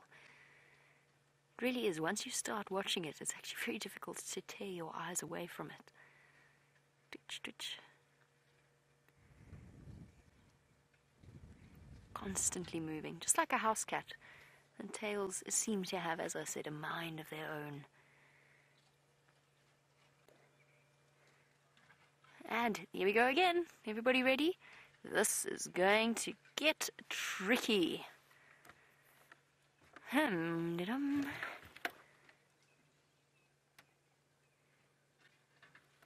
Big yawn. Now, as I said, I'm really excited to show Karula to the school children. They will be joining us in about 15 minutes. As you know, we do have school drives for school children. That doesn't mean you can't watch, of course. It just means that we answer the questions from the kids for a little while. And I think it's one of the most important things that we do to capture the interests of children. Oh, Jamie, I don't think this is going to work. To capture the interest of children in conserving the. I've lost track of her now. Is exactly what we.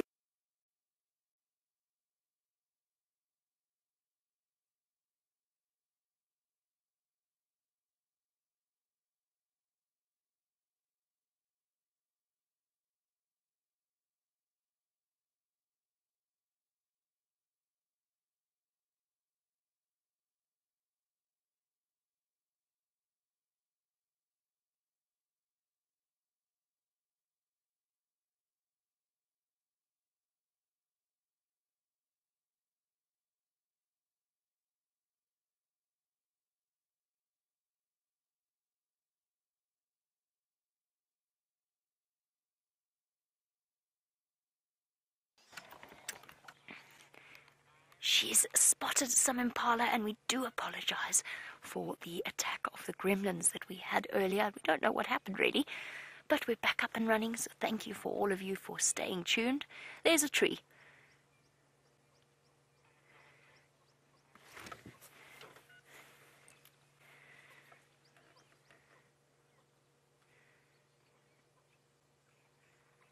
Okay, there she goes, there she goes.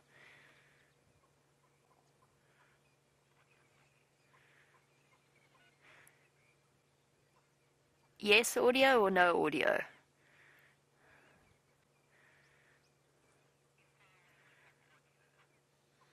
Okay, so we're good to go. Sorry about that, everybody.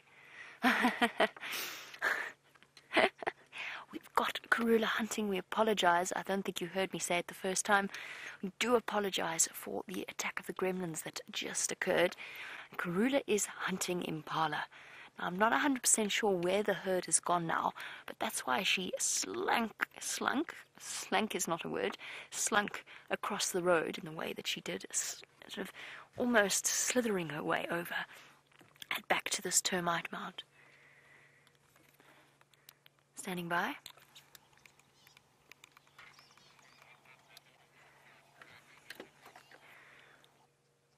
A firm yours. Um, she's visible from the road on a termite mound. We've just hit the road now.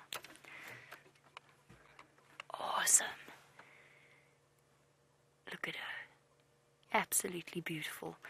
Perfectly hidden. She's found the best termite mound of them all. A vantage point and plenty of cover. And so far, the impala, wherever they may be, I've lost track of them, remain oblivious of her presence. And now, she's going to play the patience game, and this is what Karula is amazing at. She is such a practiced hunter. Oh, she, she's been doing it for the last 12, not quite 12 years of her life, last 10 years of her life on her own. And she knows that she's got to get something relatively soon to feed those two cubs, and she's always been amazing at providing for her offspring and herself.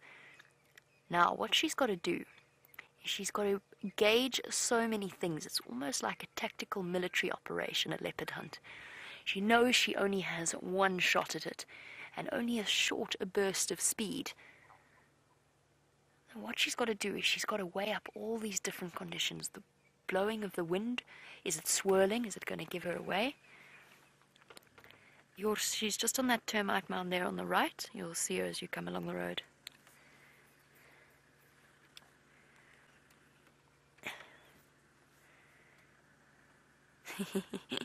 Playing spot the leopard.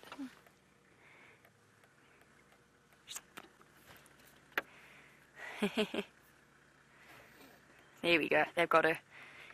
So she's weighing up.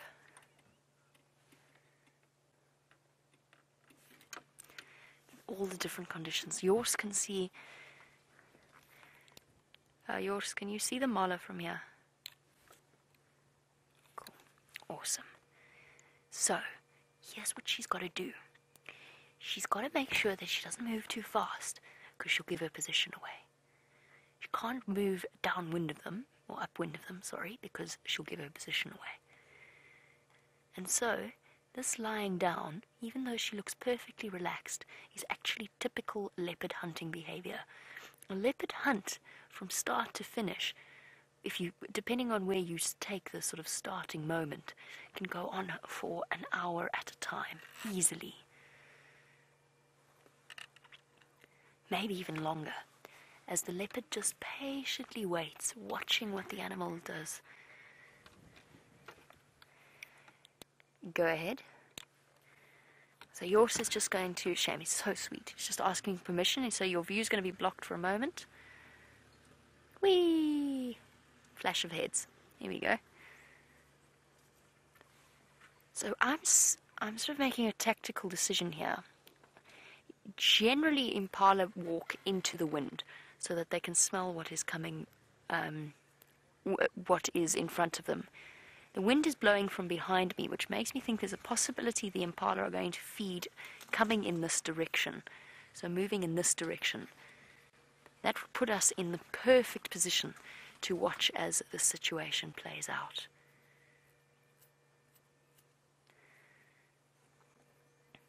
And for now, we play a game of wait.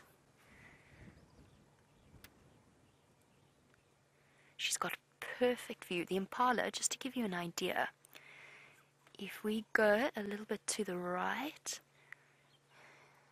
here we go. Here's, so they're just to the right. If we zoom in sort of here, Eggsy, they're just on the other side there, in there, in that gap. Now you won't, might not be able to see them, but that's where they are. Just to give you a rough idea. Just around there. So we're going to wait patiently to see what Karula does. She knows it's.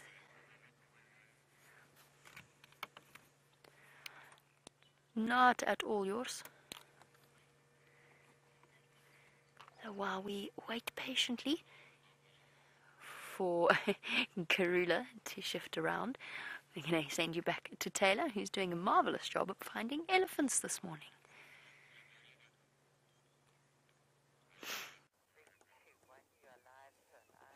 And I have stumbled across some more elephants. Everybody, can you believe it? It's an elephant day for me.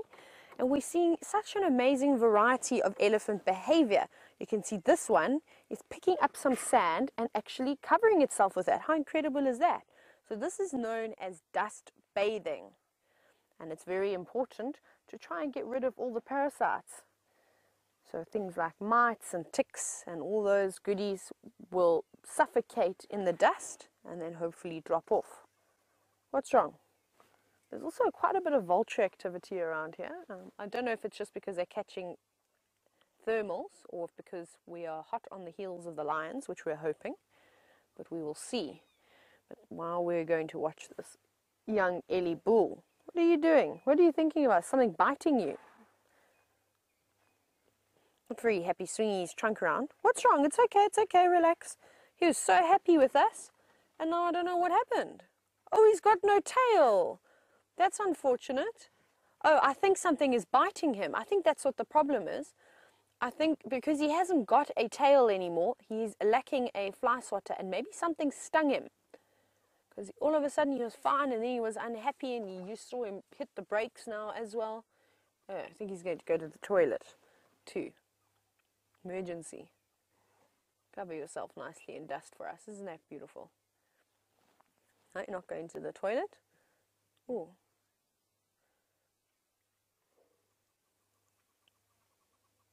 What's wrong? Raiden seems slightly agitated. Not with us, though.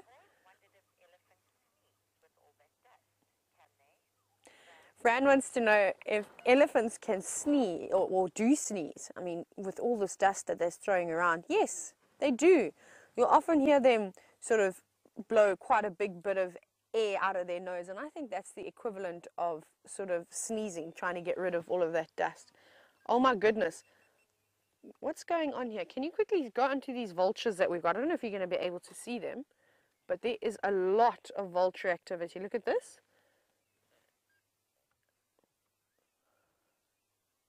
What is going on? I wonder if these lines maybe aren't in here because they don't seem to be going up. Well, they go up and then they come down again. I wonder if they've seen something. Hopefully, they'll lead us straight towards where these lions are going. See, now they are going elsewhere. And there were uh, more vultures as well that were flying just to the left of these ones. There's quite a few of them, and this is where all the lion tracks are going to. So that's quite interesting. Well, that's good. I'm going to keep an eye out on these vultures. We'll carry on watching our friend the elephant, who is currently having a lovely dust bath and is settled down again now. So I think that's what happened while you were watching. Oh, wow! Isn't that amazing? It's like a color festival for elephants, though, and just with a dust. If any of you have ever been to a color festival, you should know what it's like with those packets of dried sort of paint. And that's just what, this is exactly what that reminds me of. But that's very unfortunate. I think this young Elie bull does spend quite a bit of his day covering himself in dust without that tail. That must be the most frustrating thing for an animal is to lose your tail, which is the only fly swatter that you have. Look there, you see, it gets a bit fidgety and itchy. And you can see that tail wagging, wagging, wagging. So I think he does maybe have a few insects that are biting him around the rump and he cannot reach them. That's very unfortunate.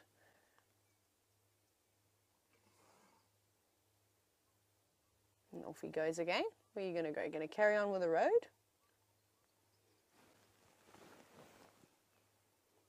You're going to go find something to eat? Look at that little tail. And he, his long eyelashes as well earlier. There we go. Look at him. Stumpy. He's like Stumpy, Stompy, the monkey that I was talking about yesterday afternoon as well.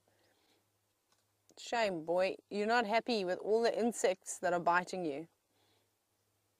Okay, you can see him very agitated. Like I said, not with us, just with all the biting insects. And that's a good idea. Yes, walk through the trees, and that will hopefully act as a bit of a fly swatter as well.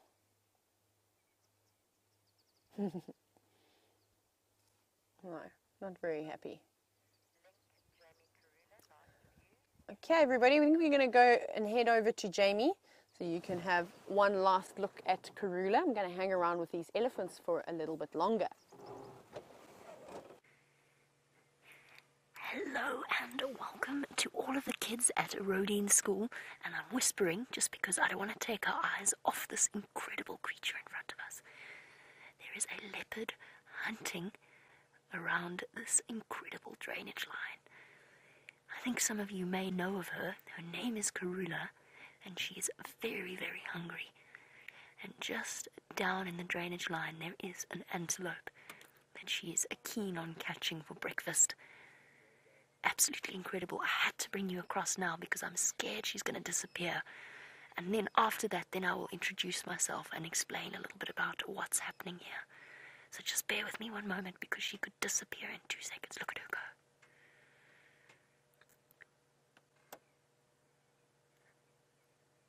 She's gonna go.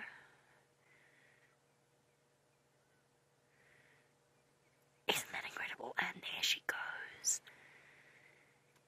Okay, I've got to whisper because I don't want to disturb her in any way. But a big hello to all of you at Roedean. My name is Jamie, and I have a gentleman called Eggsy on camera with me, and the sun is really, really, really very, very bright. Eggsy's real name is not Eggsy, it's Zander and it's wonderful to have you all on board. I think this is a fantastic way for you to start off your school day. And just a quick note I used to go to Roedean just like you guys, but many, many years ago. So, what this is, there she goes. She's still hunting. See if you can spot her. It's going to be very difficult. A leopard is very well hidden. But see if you can see where she's gone.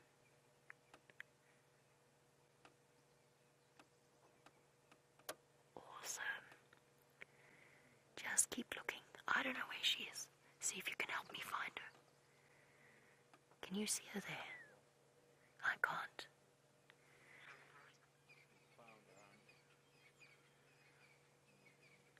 Okay.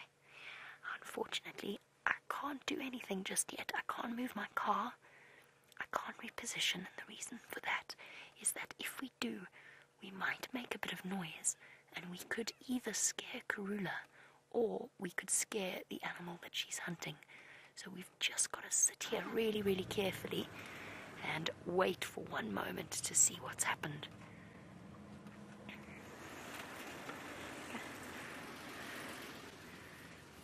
An exciting way to start off your morning.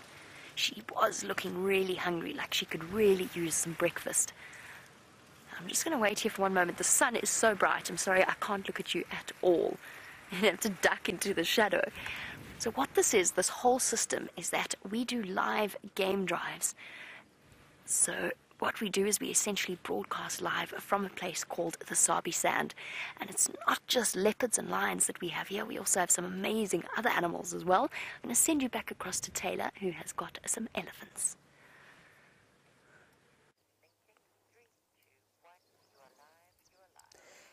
Hello to all the wonderful ladies of the Roedean School.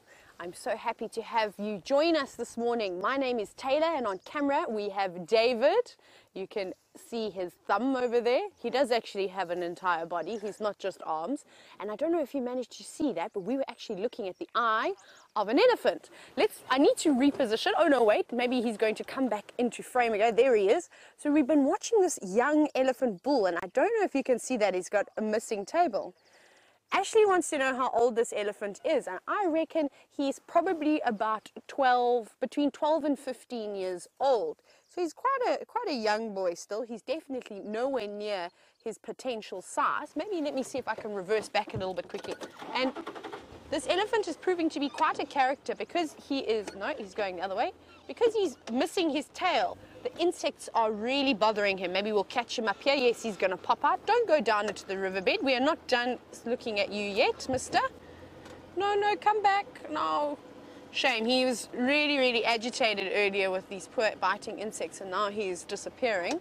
So I don't think we're going to be able to see him anymore, but there's another one. I'm just going to poke my nose over here. And I don't know, can you see that other elephant that's just around the corner over there? That looks like a female, oh, I think it's a female, it's hard to tell from here, but that one has its head tucked into a tree and is munching away.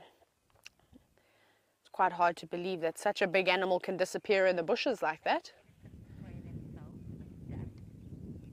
Unesa wants to know why elephants spray themselves with dust. Now, Unesa, I have to tell you that it's the most effective insect repellent out in the bush is to cover yourself with dust. So like what you maybe just quickly saw over there, poor Stumpy, our elephant that has lost his tail was really spraying so much dust on him.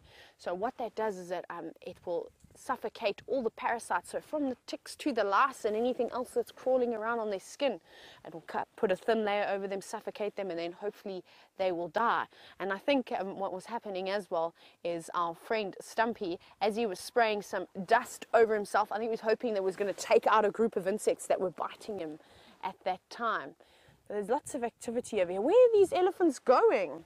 They've just completely disappeared into this very thick vegetation in this drainage line, and making it quite difficult for us to view. I think we're going to have to maybe reposition again. Maybe we're going to get this one that's poking its head through. David, what do you think? Let's, we'll just reverse. When the animals move, we've got to keep moving with them. Well, they keep us on our toes. So you lovely ladies from Roedean. I have to tell you that I went to an all-girls school too down in the Eastern Cape of South Africa. And it was the best thing I ever did. I had so much fun. I made the most amazing friends. It was awesome. So I hope you're all enjoying your time at school. Okay, we've got some movement. How are we going to see this elephant that is hiding away from us?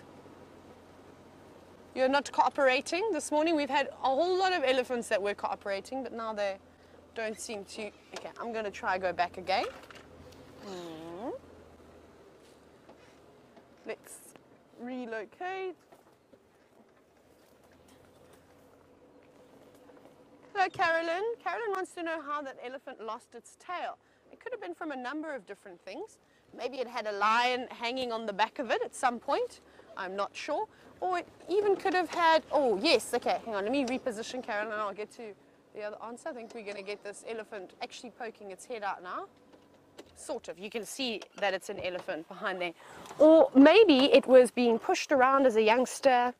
Oh, I don't know what could have happened and maybe it just lost it like that.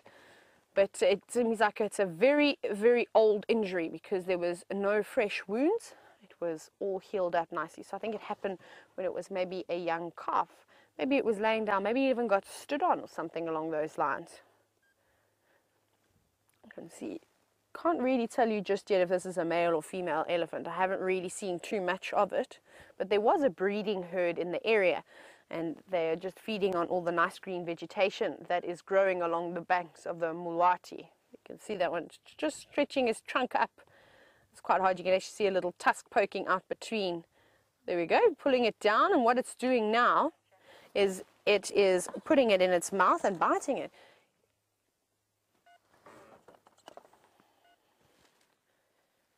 Come on, eh? So Kathy wants to know how long do elephants live for. Kathy, elephants live for quite a long time. It's quite amazing. So they live anywhere between 60 and 70 years, and that's determined by their teeth. So uh, I have chatted about this earlier today, but I'll quickly recap for, for all of you. So elephants have six sets of molars that come through every 10 years or so. It depends on how quickly they wear down though, and then that will then determine their age. That's why I say anywhere between 60 and 70 years old. So if any of you want to go into elephant dentistry, I think there's definitely a career available for all of you. And I reckon the elephants probably live a little bit longer if they had another set of teeth and this one has tucked its head away so nicely and obviously enjoying the bark on the tree. That's what we've been watching today. We've been watching the elephants eat lots and lots of bark and roots. And unfortunately, that's really only the food that's available for them at the moment. It's actually gone so quiet. Those elephants have moved out and away somewhere. Not sure where they've gone. They must have gone through this drainage line and out on the other side. So possibly, let's see, are you a are you a female or are you a male? It looks like it could be a female, but I'm still uncertain. Come on. Come on out. You can just see the, also the secretion from the temporal gland. Can you see that over there? Just to the right of the eye is a liquid that's quite, it's dry now, looks nice and dry, that's oozing out of that little gland. And that's quite an important gland you can actually tell a lot by an elephant. Oh, it's a female, and I think she has got a baby inside of her. I can see her mammary glands are extremely swollen, and that will also give a good indication to me as to why those temporal glands are secreting like that. You can see there. So I think she'll probably give birth quite soon. They're very, very swollen, and her stomach is is is uh, quite large as well. So with that temporal gland, it's an indication of either, it's basically an overstimulation of adrenaline. So it can mean that they are excited, it can mean that they are angry or stressed. And I think that that female is quite stressed. Obviously, there's a lack of food at the moment, and she's got a baby inside of her. So it's causing quite a bit of stress to her life. And that's probably why that temporal gland is secreting like that. We've unfortunately lost all the elephants now, they've disappeared from us. So Kylie wants to know why the female elephants rank higher than the males. So the males actually don't have any say in the herds of females. So it's what we call a matriarchal system.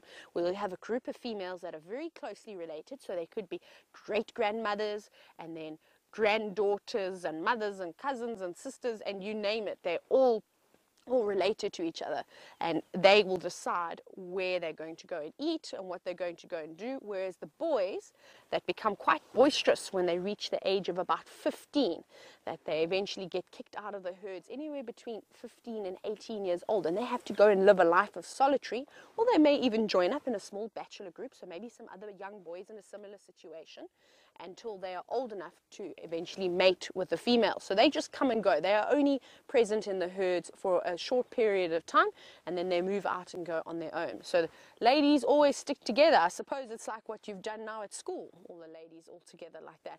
Let's try and relocate and just see if we can find some more of these elephants. But they have disappeared into some really, really thick vegetation. Actually, you want to have a look here. Can you see on this tree? I'm going to turn the vehicle a little bit. You see how there's a bit of mud at the base of the trunk of that dead tree over there? That's quite low to the ground, so that could be anything from a warthog to a buffalo to a hippo to a rhino and even an elephant rubbing up against a tree like that. To me, that says it's a slightly smaller animal. An elephant would normally rub up mud a bit higher.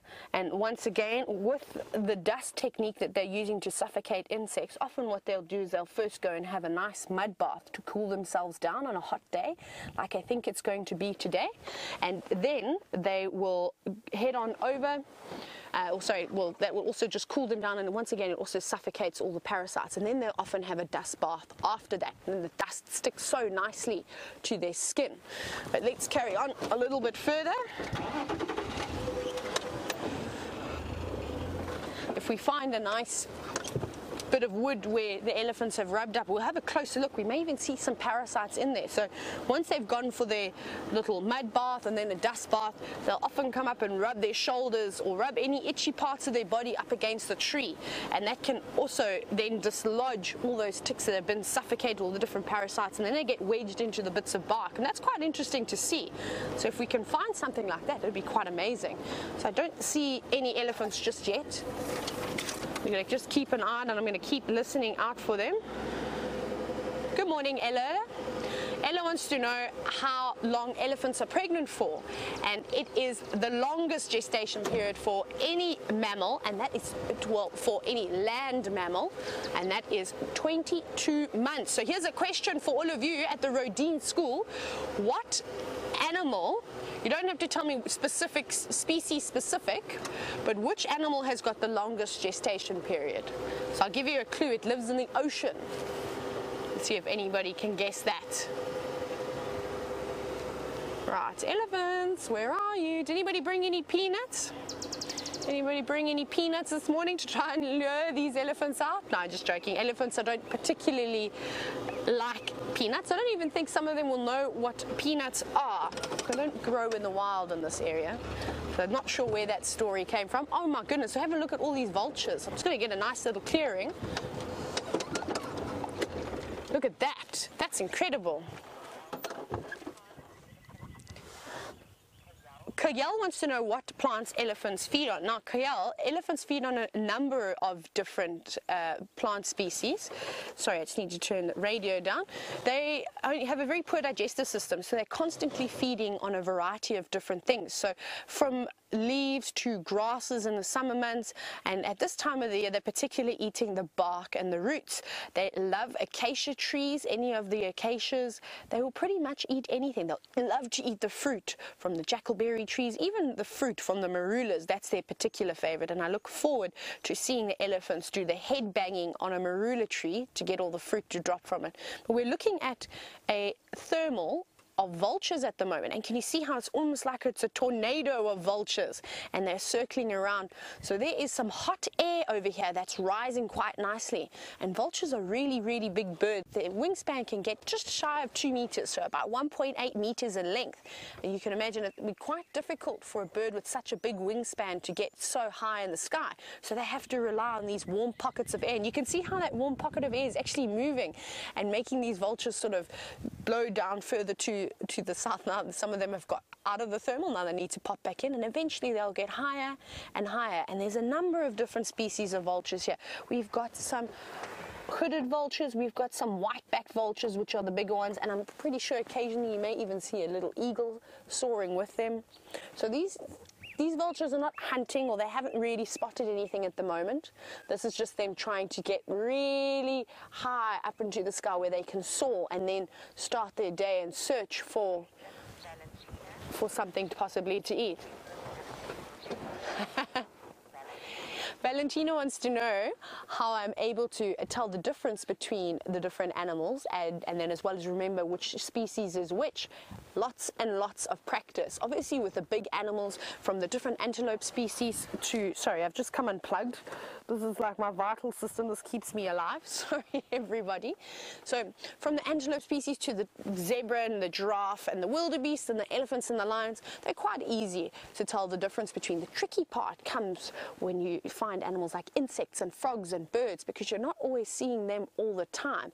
And this is obviously hard when you're not seeing an animal on a regular basis. This makes it a lot more difficult to try and remember it. So that's why we have lots of books. You'll see I have lots of books with me now for just in case I need to find anything. See, I've got a mammals book over here that has got all sorts of different goodies in. I've even got a bird book. Can't laugh at my bird book though, I have to show you.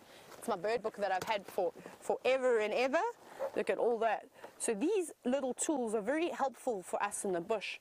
And, and even though I've been doing this for a while, I never stop looking in my book. It's very important to keep learning, which is quite amazing. So that's how you learn about how to identify different creatures and how to remember them. And it just takes a lot of practice. So we're going to carry on going ahead. I can't see these elephants and I can't hear them anymore. So I'm not sure where they have disappeared to. They maybe found a nice shrub that they're feeding on. We'll carry on around here. We're also, by the way, we were also trying to follow up on some lions. I think I've got some lion tracks. Do I have some lion tracks on that side of the road? Do you, would you like, is that all right for you? Okay, let me, let me just go back a little bit. How's that now? Have a look in here. Lion tracks, everybody. Isn't that a good sign? Now they were going up and down. Let me try and have a quick look around here. Excuse me for two seconds, I'm just unplugging myself. Mm, what else do I need? Nothing.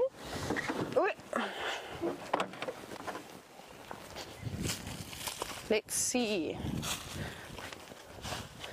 who we've got over here. Ooh, okay, so let's do this one over here. You can see this is this actually looks like a very big male lion track. I mean, that's really the size of my hand over here. So it's quite easy to tell the difference between male and female tracks because of their size. Firstly, female track is a lot smaller, but also female track is generally a lot longer. A male's track is quite wide, which you can see. It's almost as wide as it is long. So a female track will be a lot longer in length and then slightly narrower. And then to tell the difference between a hyena and a lion track, because sometimes you can get confused, is that a cat has got three lobes. So the back part, the, the, sort of the palm, I suppose you could call it, you can see if you look there. One, two, three.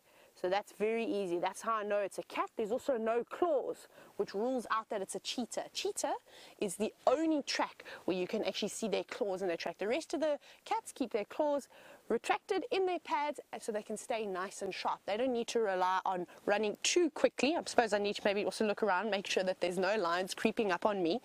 And so yes, yeah, so, so the lions and the leopards keep their tracks uh, their claws retracted so that they can keep them nice and sharp. They don't use their claws like cheetahs. Cheetahs use their claws in order to grip on the ground to help them run really quickly. So the tracks are going up and down. So there's one big male lion's tracks like I just showed you, and there's a few female lion's tracks. So I wonder where we've where we've missed them. I think we may actually turn around and just do another loop now that I can see these tracks nice and clearly. There's no cub tracks here. This pride of lions that we are looking for has got quite a few cubs. I'm just going to zoom around quickly. Need to get back in the vehicle. My brain is thinking very hard as to what these lions were up to. Hmm. I think they're in this drainage line somewhere. I have a sneaky suspicion.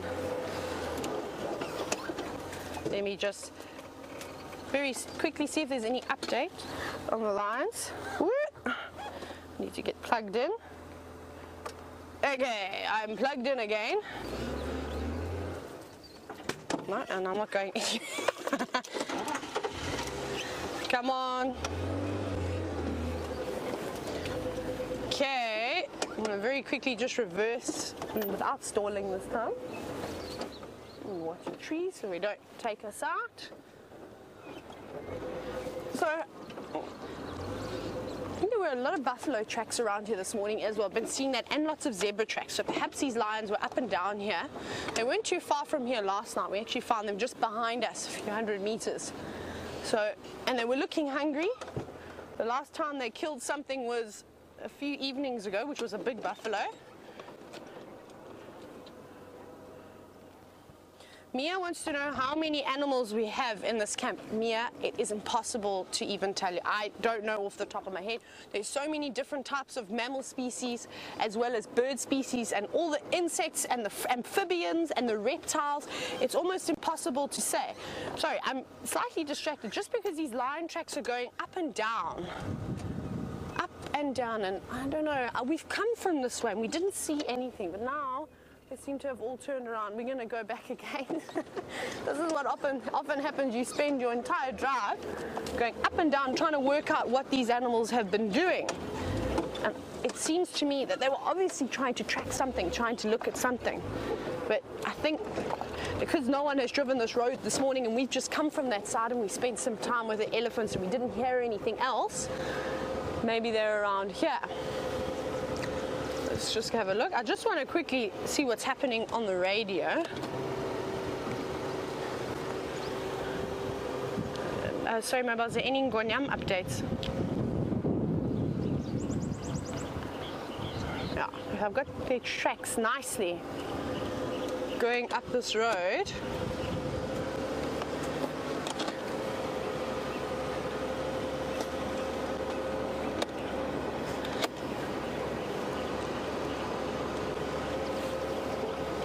Simone wants to know if I'm scared. Sorry, we've got an elephant just sort of blocked the road slightly. You can see this branch. We're going to have to maneuver through it.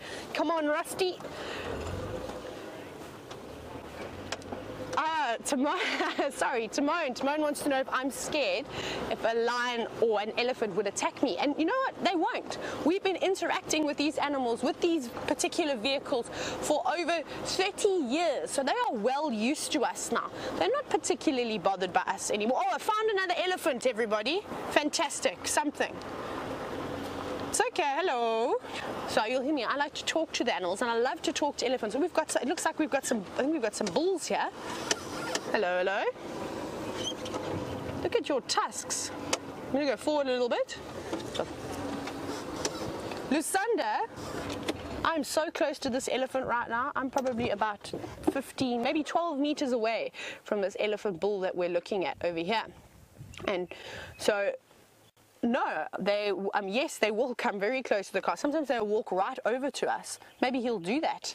And so, Timon, just to go back to your, your question very quickly there. So it's taken many, many, many years for us to be able to interact with these animals and for them to be so relaxed with us. So isn't that incredible that they're completely wild? Now, if I were to get out the vehicle, that is a different story. But we do not look like a threat in the vehicle because remember, unfortunately, a lot of these animals have been hunted for many, many years when the settlers first arrived. So they have a natural fear of humans. But in the vehicles, for the last 30 years, we haven't been behaving like people. We've been very well behaved in the vehicles and just actually looking at the animals. And the only shooting we're doing is with a camera, which is the way I think it should be.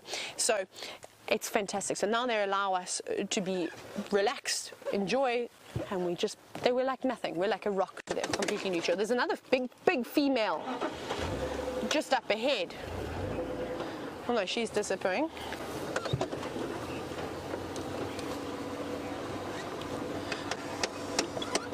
Ryan and Annabelle want to know how do you tell if it's a male or a female? I'm going to go ahead because we've got a few more elephants I think we're going to get a better view of. Come on, guys, it's okay. Relax. What's wrong? Why is everybody so agitated? Have you seen some lions this morning? Uh-uh. It's okay, it's okay, it's okay, it's okay. Sorry, this elephant cow is not happy with us. I'm going to keep going. Sorry, everybody. See how she's just told me? She had her ears raised. She also looked at me and she said, you better just keep on moving. So I'm going to keep my distance from her. She was not very comfortable with us, which is fine. She's allowed to be. We all have bad days. So just to go back to that uh, I've forgotten now, sorry. What the question was, I was just very quickly watching the elephant. So the differences between males and females, it's uh, difficult now because we don't have an elephant that actually wants to look at us, but a female elephant has got a very square forehead, which is quite easy to tell the difference when you can see their heads, which at the moment is proving quite difficult. Normally they're quite relaxed. And you can also look for, I'm going forward again. You can also look for the mammary glands, which is another way. So the mammary glands tend to be quite swollen. And then the males have a very, very round head. Well, where are these elephants gone now? Let me go back again. Sorry, everyone, they're not cooperating with us today. The, the male elephants have quite a round head on them. And then you can also look for the, the manly bits on the elephant. Well, I think we're going to head on back to Jamie just because I cannot get a clear view of these elephants. So I'm going to try and keep looking around. Maybe I'm going to even see why these elephants are so agitated, but I'll see you shortly. What are we doing? I am so sorry I disappeared like that. Unfortunately, I had a completely flat tire, which meant that the leopard disappeared away while we had to get out and change it. And it's actually a very, very important skill learning to change a tire. It's something that everybody should know how to do, and it's something that you have to do a lot if you are a guide. You get very, very used to it. But it's important to know how to do properly because if you don't, you can really seriously hurt yourself. You essentially have to lift the whole of the vehicle up onto one jack. And what that means is you've got to make sure that everything is perfectly secure so that you can don't risk the vehicle falling over. Now, we are desperately trying to find the leopard for you. But I've found something else for now, and in fact, something that will tell us if the leopard's been passed. Now, Pando, you wanted to know do we ever get scared of the wild animals? Yes, sometimes. You see, there's a monkey. Oh, there it goes, he's running away. There was a monkey sitting there, and he's decided to dash off. Now, the reason I say that the monkeys would tell us where the leopard was is because they go when they see a leopard, basically telling everybody, look out, there's a big cat. Do I ever get scared? Sometimes. Well, sometimes it's very, very important to remember that you're in the animal's space and it's their home, and you've got to respect that and be very, very respectful of it. And it's important to remember these are wild animals and they are capable of hurting us or injuring us, but it's also very important to remember they don't want to. It's not their natural instinct to injure us in any way. Aha, there's that giraffe. I think that's the one that Taylor was looking at. There's a giraffe over there. So all animals, even the smallest warthog or bushbuck, are capable of hurting us if we behave in a silly way. And it's very important to be constantly alert and aware that you may need to move out of an animal's space and also just because you saw an animal one day and it was perfectly happy, if you see it the next day and it's not happy, it's important to respect that because they have moods just like we do. Sometimes things go wrong, sometimes they get injured, and then it's very, very important to read the signs of the animals. So I'm not going to tell you that I've never been scared out here because I have. And anybody who says anything different is not telling the truth. We've all been a little bit scared at times. But I'm more scared sometimes in certain cities and in certain places in cities than I am living out here in the bush. Because there's nothing out here that sets out to hurt us in any way.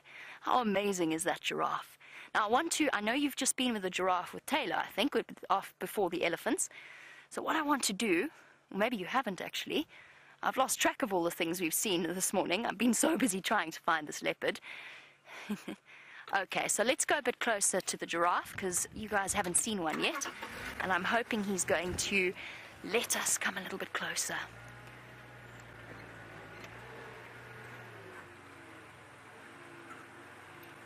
Now, Joya, welcome. I hope you're having an awesome morning.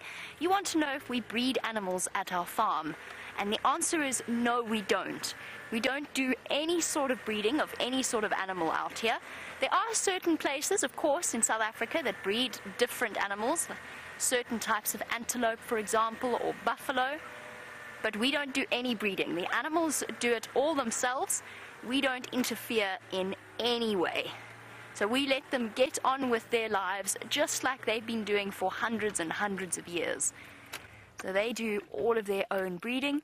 We've got lion cubs somewhere on this property, hoping we're going to find them at some point. And Karula, the leopard you saw earlier, also has two beautiful babies that are seven and a half months old. But she's busy hunting for them. So that's why she's disappeared. But for now, we've got this amazing giraffe. He's munching away on the leaves.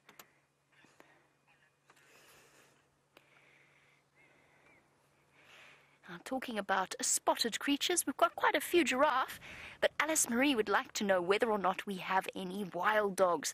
And yes, we do, and we get to see them every now and again.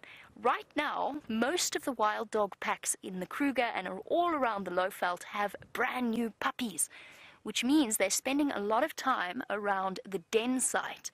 So they have babies in a termite mound or something similar, and what they do is they move around there and look after the puppies. And unfortunately, they haven't decided to den in this particular area, which means that we only see them every now and again. But when we do see them, it's one of the most exciting animals to watch. They move so, so fast and they cover such enormous distances incredibly quickly. They are absolutely amazing. Now, this giraffe is probably a little bit too big for them to take down, but they are capable of taking down or catching things like antelope. Uh, as you know, a wild dog is one of the most endangered animals that we have out here. How many do you think? I'm going to ask you a quiz now. How many wild dog do you think there are in South Africa? How many wild dog do you think there are? Roughly. You don't have to give me an exact number, but how many do you think there are? And I think you'd be shocked and surprised at the number. Look at this beautiful giraffe. Yeah, absolutely, Faith. You want to talk about the giraffe tongue. And you want to know why it's so long. And Faith has asked a very good question because a giraffe has a tongue that's almost half a meter long. Measure that out. Pick up your, your school ruler, your 30 centimeters ruler. A giraffe tongue is even longer than that. And the reason a giraffe's tongue is so long is because of what they eat. And they particularly like the leaves of thorn trees, things like acacias, and perhaps a knobthorn or two. But that means they have to stick their whole face into the tree to get to the leaves, and sometimes it gets a bit scratchy. So what they can do is they close their eyes and their nostrils and they put their head as close to the tree as possible, like this giraffe is doing. He's got his head in the tree. And then they reach forward with their long tongue, and it's flexible, almost like an elephant's trunk, and it wraps around the leaves. Now, here's something I don't know if you know a giraffe's tongue is purple. Not even just bright purple, deep purple. And that's because if it's wrapping around thorn tree leaves, it's got to be nice and tough. So it's got melanin in it. And melanin is the same thing that gives you freckles or slightly darker skin. And that is a very, very tough pigment. It's a very strong pigment. So they've got melanin in their tongue so that they don't cut their tongue when they're busy eating their leaves. Now, this is a boy giraffe. And the reason that I know it is a boy giraffe There you go, that's for Amy and Victoria. You wanted to know, how do I know it's a boy giraffe? How do you distinguish? Now, the most important thing is to look at the top of a giraffe's head. Now, you might not always be able to see it clearly, but because a giraffe's so tall, it often sticks up above the trees. Right, now look at his horns. Now, they're not actually called horns, they're called ossicones, the things sticking out of the top of his head. And they're different from antelope, like impala, because a giraffe is born with them, but they are solid bone. In a boy giraffe, those are nice and thick and strong, and they're bald at the top. They've been rubbed bald, so the skin at the top, look closely, look really carefully. There, he's giving us a view. See, there's no hair on the top. So in a boy giraffe, those are thick and strong because they use them to fight other males with when they want to mate with a female. So it's to compete with other males. In girl giraffes, those are much skinnier and they have tufts of hair growing out of the top of them. So that's one way that you can distinguish a male from a female. Male giraffe are bigger and usually a little bit darker, but be careful because just like some of you have brown hair, black hair, blonde hair, giraffe have different colors of coats as well. And then, next way, boys and girls, in a giraffe it's quite easy to see. You can see the bump on his tummy, and that is one way that you can distinguish that it is a male. So that's a boy. The female doesn't have that bump, it's smooth. And you also want to know what do we call a baby giraffe? And Carolyn, you wanted to know what you call a baby giraffe. We call it a calf. It is called a giraffe calf, like a cow. And in fact, you call a female giraffe a cow, and a male giraffe is actually a bull. It's kind of weird. But a baby giraffe is called a calf, like a buffalo calf. And that's because they are actually quite closely related to buffalo, believe it or not. Now, a giraffe is an amazing creature. And it's got a very, very powerful heart that pumps blood all the way up to the top of their head. Now, this boy is all on his own, and that's generally what giraffe do. And we have a question about will the male stay with the mom and the baby? No, they don't. Male giraffe are not very good fathers. They actually don't stay and look after the baby. It's, that's the mother's job. And there's actually very few animals out here where the male looks after the baby as well as the female. Mostly it's birds that the both partners will look after the little one. Birds, jackals, wild dogs, those sorts of animals. Giraffe, nope, the male mates with the female and then he goes away. But giraffe don't have set herds or territories, so that means you could see a male with a female and a calf. They just wander around. Sometimes they like to be on their own, sometimes they like to be with other giraffe. And a collection of giraffe is called a journey. So the collective noun for giraffe is called a journey of giraffe, which is, I think, a lovely description. They always look as though they're on a journey. Look at him. Isn't he amazing? And Kel, you want to know how old the giraffe is that we're looking at right now. It's very, very difficult for me to tell because he is fully grown and giraffe whilst they do get larger and larger throughout their lives, at some point they sort of reach a stopping point. And unless I went and had a look at his teeth, to see how much they'd worn, they've worn down. I couldn't really tell you. He could be anywhere from about 8 or 9 years old right up until about 15, even potentially 20 years old. If I had to guess, I don't know why I'm saying, I think he's probably in his teens, his early teens. So between 11 and 15 is my guess, but I don't know exactly, and it's very difficult to tell the exact ages of animals like this. I could ask him if I could look at his teeth, but I don't think he's going to say yes. And the reason that old giraffe, their teeth wear down is because, of course, they're constantly chewing. So all of our antelope, our elephants, and giraffe, you can tell how old they are by looking at the condition of their teeth. And that's one of the only ways that you can tell. And then as they start to get older, then their bones start to get more prominent and they get a bit more bald. Amor, you wanted to know how tall a giraffe can go, can grow. And I'm trying to think what the record is. This giraffe must be, I would say, easily six meters from the ground to the top of his head. Five, no, five, five-ish meters, five, five and a half meters. I would guess at how tall he is. So giraffe can get very, very tall. And don't forget there's different types of giraffe. So throughout Africa there's different species. We have the savanna giraffe, the southern African giraffe, and they do get very tall. Now, one of the advantages of being that tall, of course, is that you can eat above the heads of other animals. But then, at the same time, for the males, it's also a weapon. So those horns on the top of their heads, when they fight with other males, they do what's known as necking. So they swing their heads down and around and hit each other on the sides and on the legs and on the back. And they're basically smacking each other with their heads, which sounds ridiculous and it is phenomenal to watch because their necks are so incredibly strong they can swing their heads with great strength. Now, generally, only mature giraffe go dark like this in color. All right, now our giraffe is not going anywhere. But Amy and Julia, you wanted to know how fast can a giraffe run? Well, probably in the region of about 60 odd kilometers, possibly even faster at a sprint. They look like they're slow animals. But they're actually not, because when your legs are two meters long, you have enormous strides. So each the distance between each step is very, very far. Giraffe can only do two different types of movement. They can walk or they can run. And their run looks very graceful and it's almost like they're running in slow motion.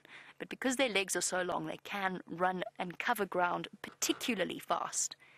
Faster than a human being. In fact, pretty much, I have to be honest, pretty much everything out here in terms of mammals can run faster than a human being. They've got four legs, we've got two.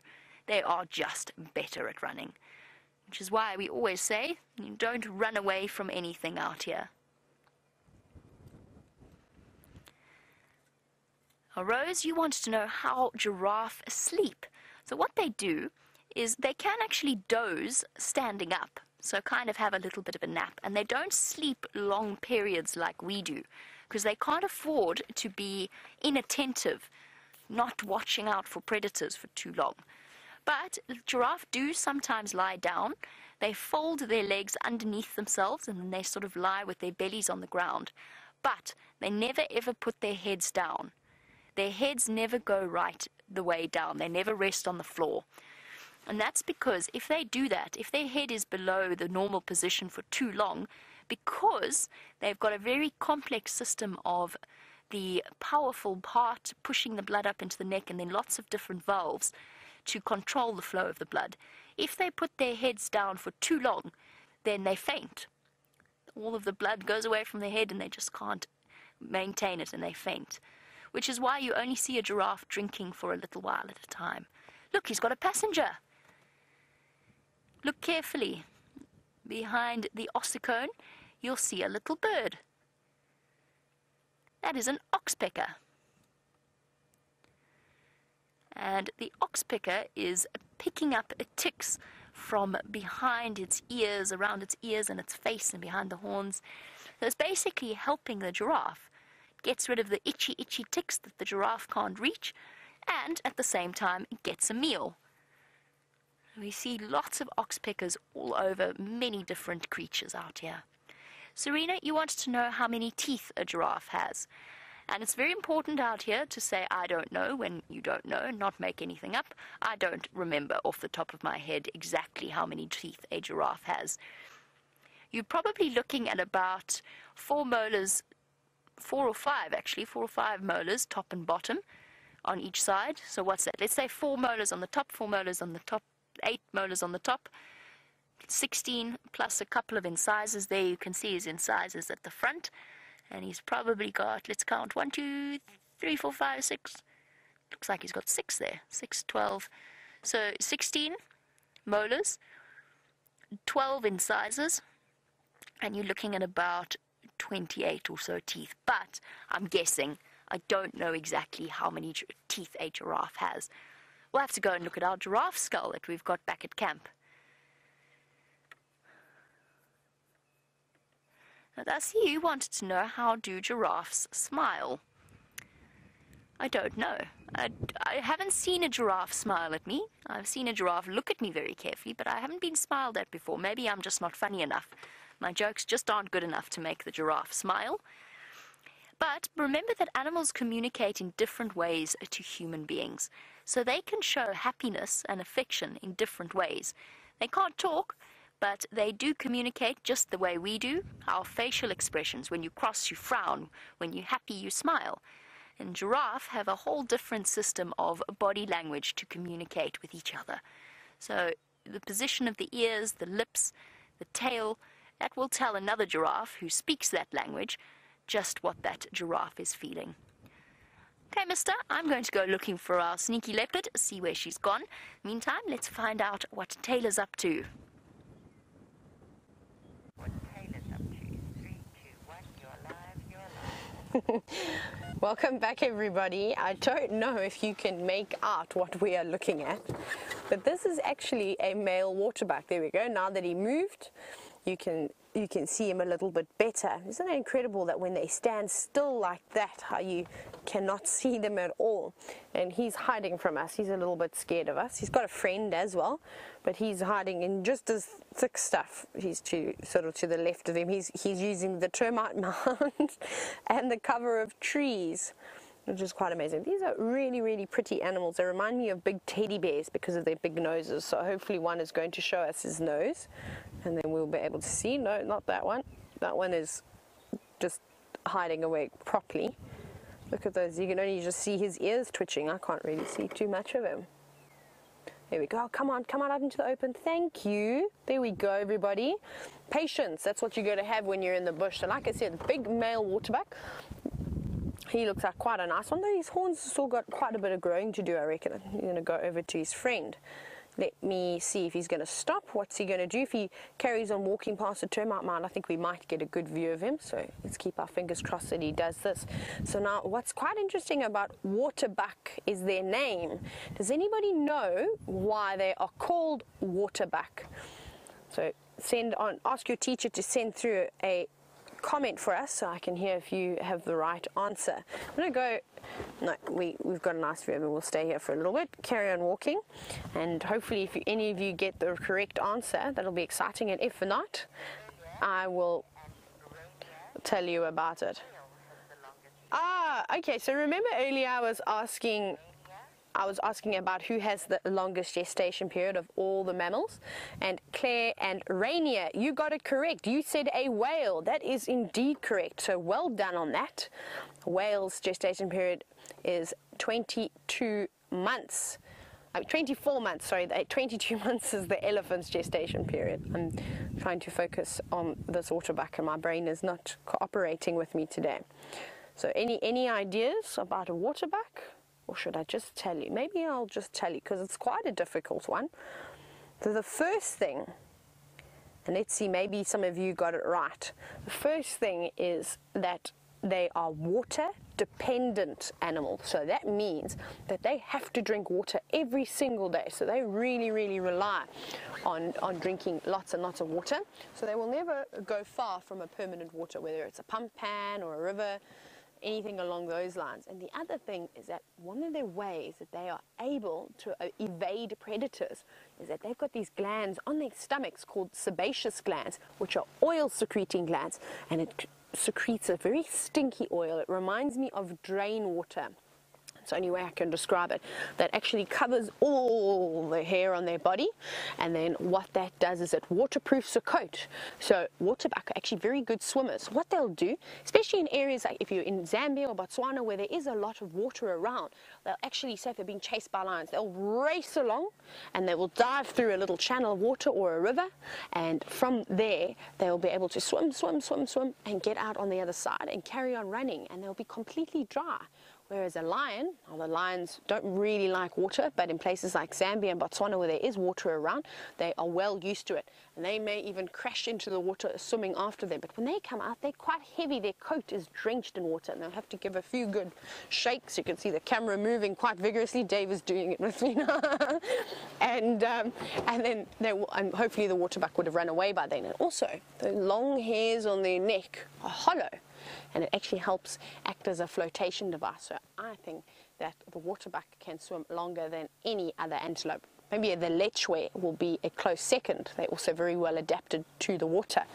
But we're going to carry on. I'm just doing a quick little check around here we had lots of lion tracks. We had the tracks of even of the cubs, and they have disappeared now. And I didn't see the tracks of the cubs coming out of here. So maybe mom or the mothers were moving them around last night, and they found an area where there was some food, and maybe dropped them off to go and hunt. We're going to do one little loop. We're maybe actually even going to go and very quickly just check.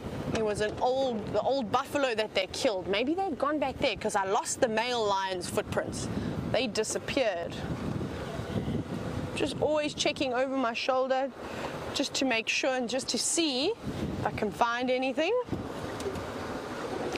How about your side, David? Any tracks that side? I can't lean over, but I don't think so. I didn't see anything.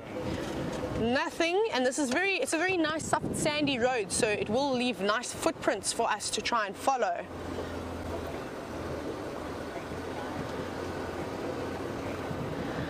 Right, everybody.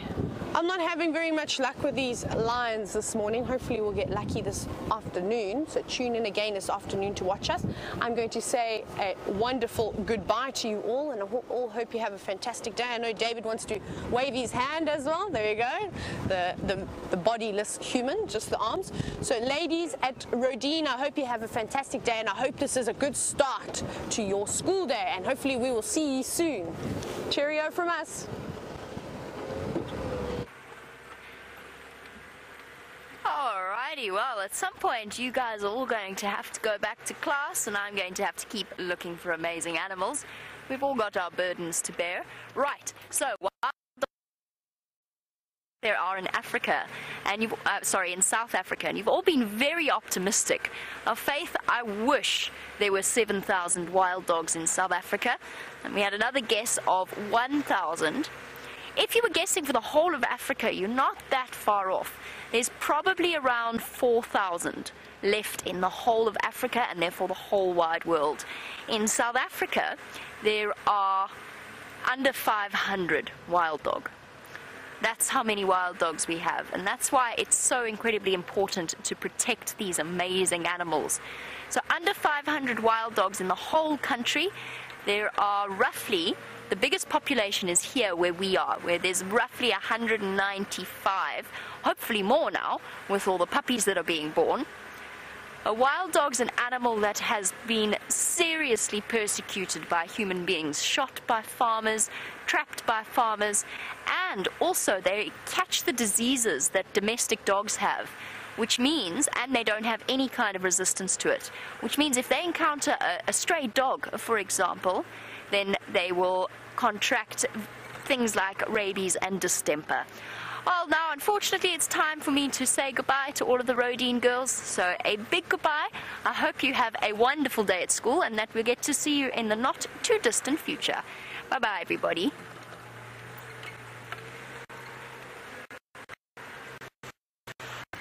And for, and for our regular viewers, thank you for sticking with us. As you can tell, I don't have Karula anymore. She ducked into a drainage line, and there's nothing like a flat tire to um, to foil a leopard following attempt. So I was foiled quite thoroughly by Wendy's incredibly flat tire. It wasn't a slow puncture either. It went gone flat. I could, could barely move, drive off the road to change it. Luckily, yours happened to drive by, and we had the equivalent of a Formula One pit team going and changing that tyre. It was most impressive. We had Eggsy on Jack, and we had several strong young men who absolutely refused to let me do it. And then when it came to putting the jack down, I put it down, and they went, "Oh, it looks like you know what you're doing." Yeah, do it quite a few times, but I'm very grateful for their help because it did mean that we could do it in basically record breaking time. Unfortunately, not record breaking enough. Karula has ducked away. I don't think she's left that drainage line that she went into. She just, just, just, just, just missed a duiker. I mean, it was by a tail hair that that thing managed to dodge around her and disappear into the drainage line. And I think she's still determined. Well, I've left her for now. I'm going to leave her to go about her morning hunting. Hopefully, she's successful and we get a chance to see her on the sunset safari, even with her little baby cubs. That I'm dying to see. It feels like it's been a little while.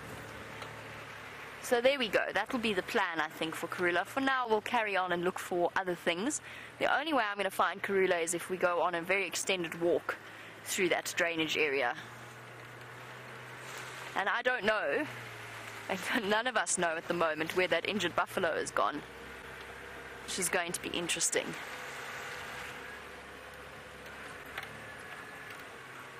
Oh, we have a tree in the road.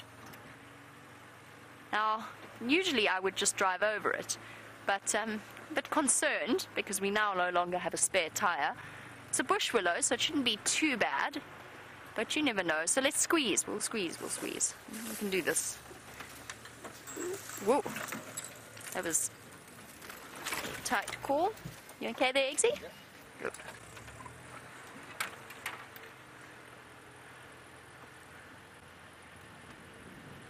Ah. Casting my mind back I promised that we would discuss all the different bird species nesting in the trees and the fact that we get different species and there seems to be some kind of truce between them, and then I completely got distracted by Karula. So back to that question, different species of birds roosting in, in the same tree. I think it's just that they've reached a truce. I don't think you'd see it, you most definitely wouldn't see it, where there's a harrier hawk nest, because of course they are notorious nest raiders. But I think there's a kind of an understanding if there's a suitable tree, and I think one of the examples that we were given was the buffalo weaver's nest. We've got one here. Oh, stay on my hat. Stay on my head hat. There we go. Now we've got the buffalo weavers in that messy nest over there. Whoopsie. Car's going for a walk. It's quite apparently uh, you saw a nest, a combination of different nesting species. It is quite unusual. I haven't seen it that frequently. That is the nest of the red-billed buffalo weaver. It looks chaotic, but apparently there's quite a system behind their nesting strategy. Lots of false entrances, very difficult for something to get in there. So I suppose buffalo weavers in particular wouldn't mind too much. And also, it's not so easy for a buffalo weaver to just up and move nests. They invest a lot of time and energy in those nest areas and they return year after year after year after year to the same nest sites. So perhaps when a raptor moves in, they just decide to make a stand and not move off anywhere. And a raptor would have a hard time raiding a buffalo weaver's nest. Not really worth their while. I think that might just be the, the reason behind the truce of the different species.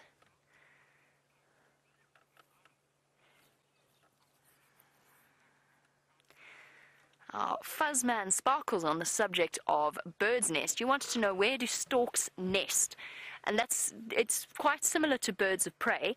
Um, it depends on the species of stork, of course, but they will choose different nest sites. Similar construct a messy nest quite similar to something like our Wahlberg's eagles, for example. Very common to find them on top of Hamerkop's nest nests, those massive, the, the Hamerkop nest is the biggest nest built by any individual bird. And it's absolutely massive. It's this bundle and solid, it looks like, I don't know, I don't know how to describe it. It's a really big home for a very tiny bird, and it's not uncommon to find storks nesting there. In terms of whether we have any stork nests on, I have not found any. I don't think anybody else has either, and I've never found any on Arathusa. And at this point, because of the fact that we spend so much time on quite a concentrated area, we know, especially Steph, the amount that he's walked this property, we know pretty much every single tree and every large bird species nests. So I don't think so, but you never know. And of course, we always had, when there was rain and there was water, we always had the saddle-billed storks at the Djuma Dam and at the Buffelshoek Dam. We're not going to get see any storks this year unless the dams fill up, which is quite a sad thought. There's no reason for them to come through here. But the rain will come. I'm determined the rain will come.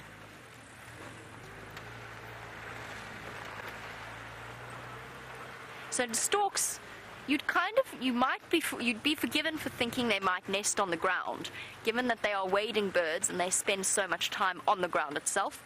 But it's absolutely not the case. They adopt a very similar approach to the raptor species. One of the birds that I'm dying to see, just on the subject of birds and chicks and that does nest on the ground, and is sort of similar, kind of, to a stork, is a shoebill. I've never ever seen a shoebill. I'll find a picture quickly, if I can remember where I put my bird book.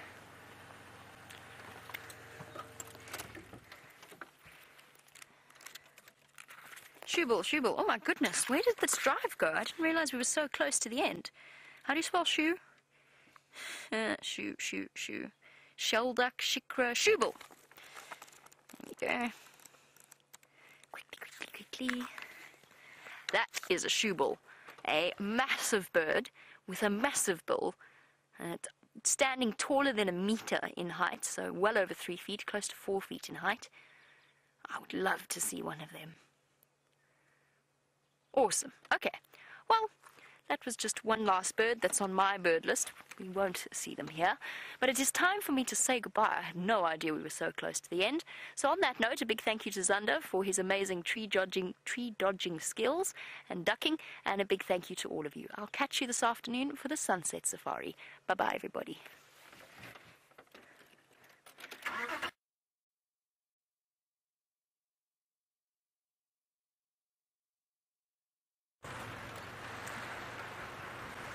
Dear. In that case, I won't say goodbye to you all. It's hard to miss me if I don't leave. Uh, Taylor has lost lost signal, so you'll probably be staying with us until the end of the drive.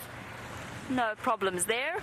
Uh, I'm going to pretend that my right front tire is not looking a little bit pup as well. Pup in South Africa sort of slang for, well, you get the idea, lacking in air.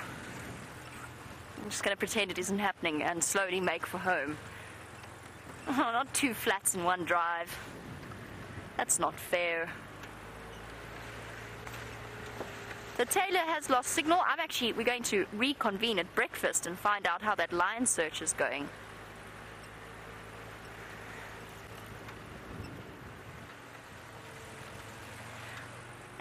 James Richard, you were wondering if the Wahlbergs, on the subject of birds and nesting, if they were to abandon their nests, would any other bird make use of it?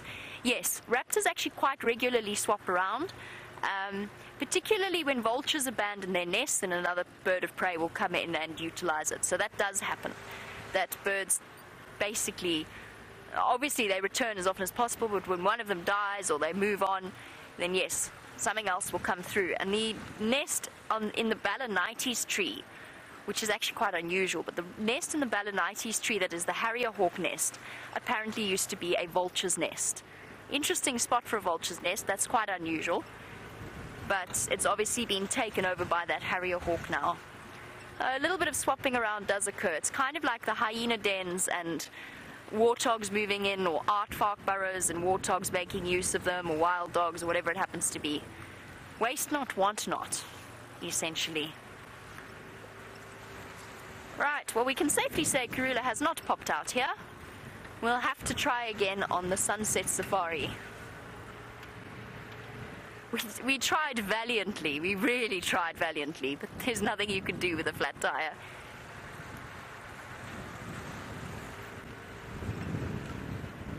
Uh, hopefully she is successful, and hopefully she is successful on Djuma. Doesn't decide to cross south. I'm going to quite rapidly, it's a slow puncture on my front wheel, so we don't need to worry too much about it. But it does mean I need to get closer and closer to home, ideally, because I don't have any tires to change.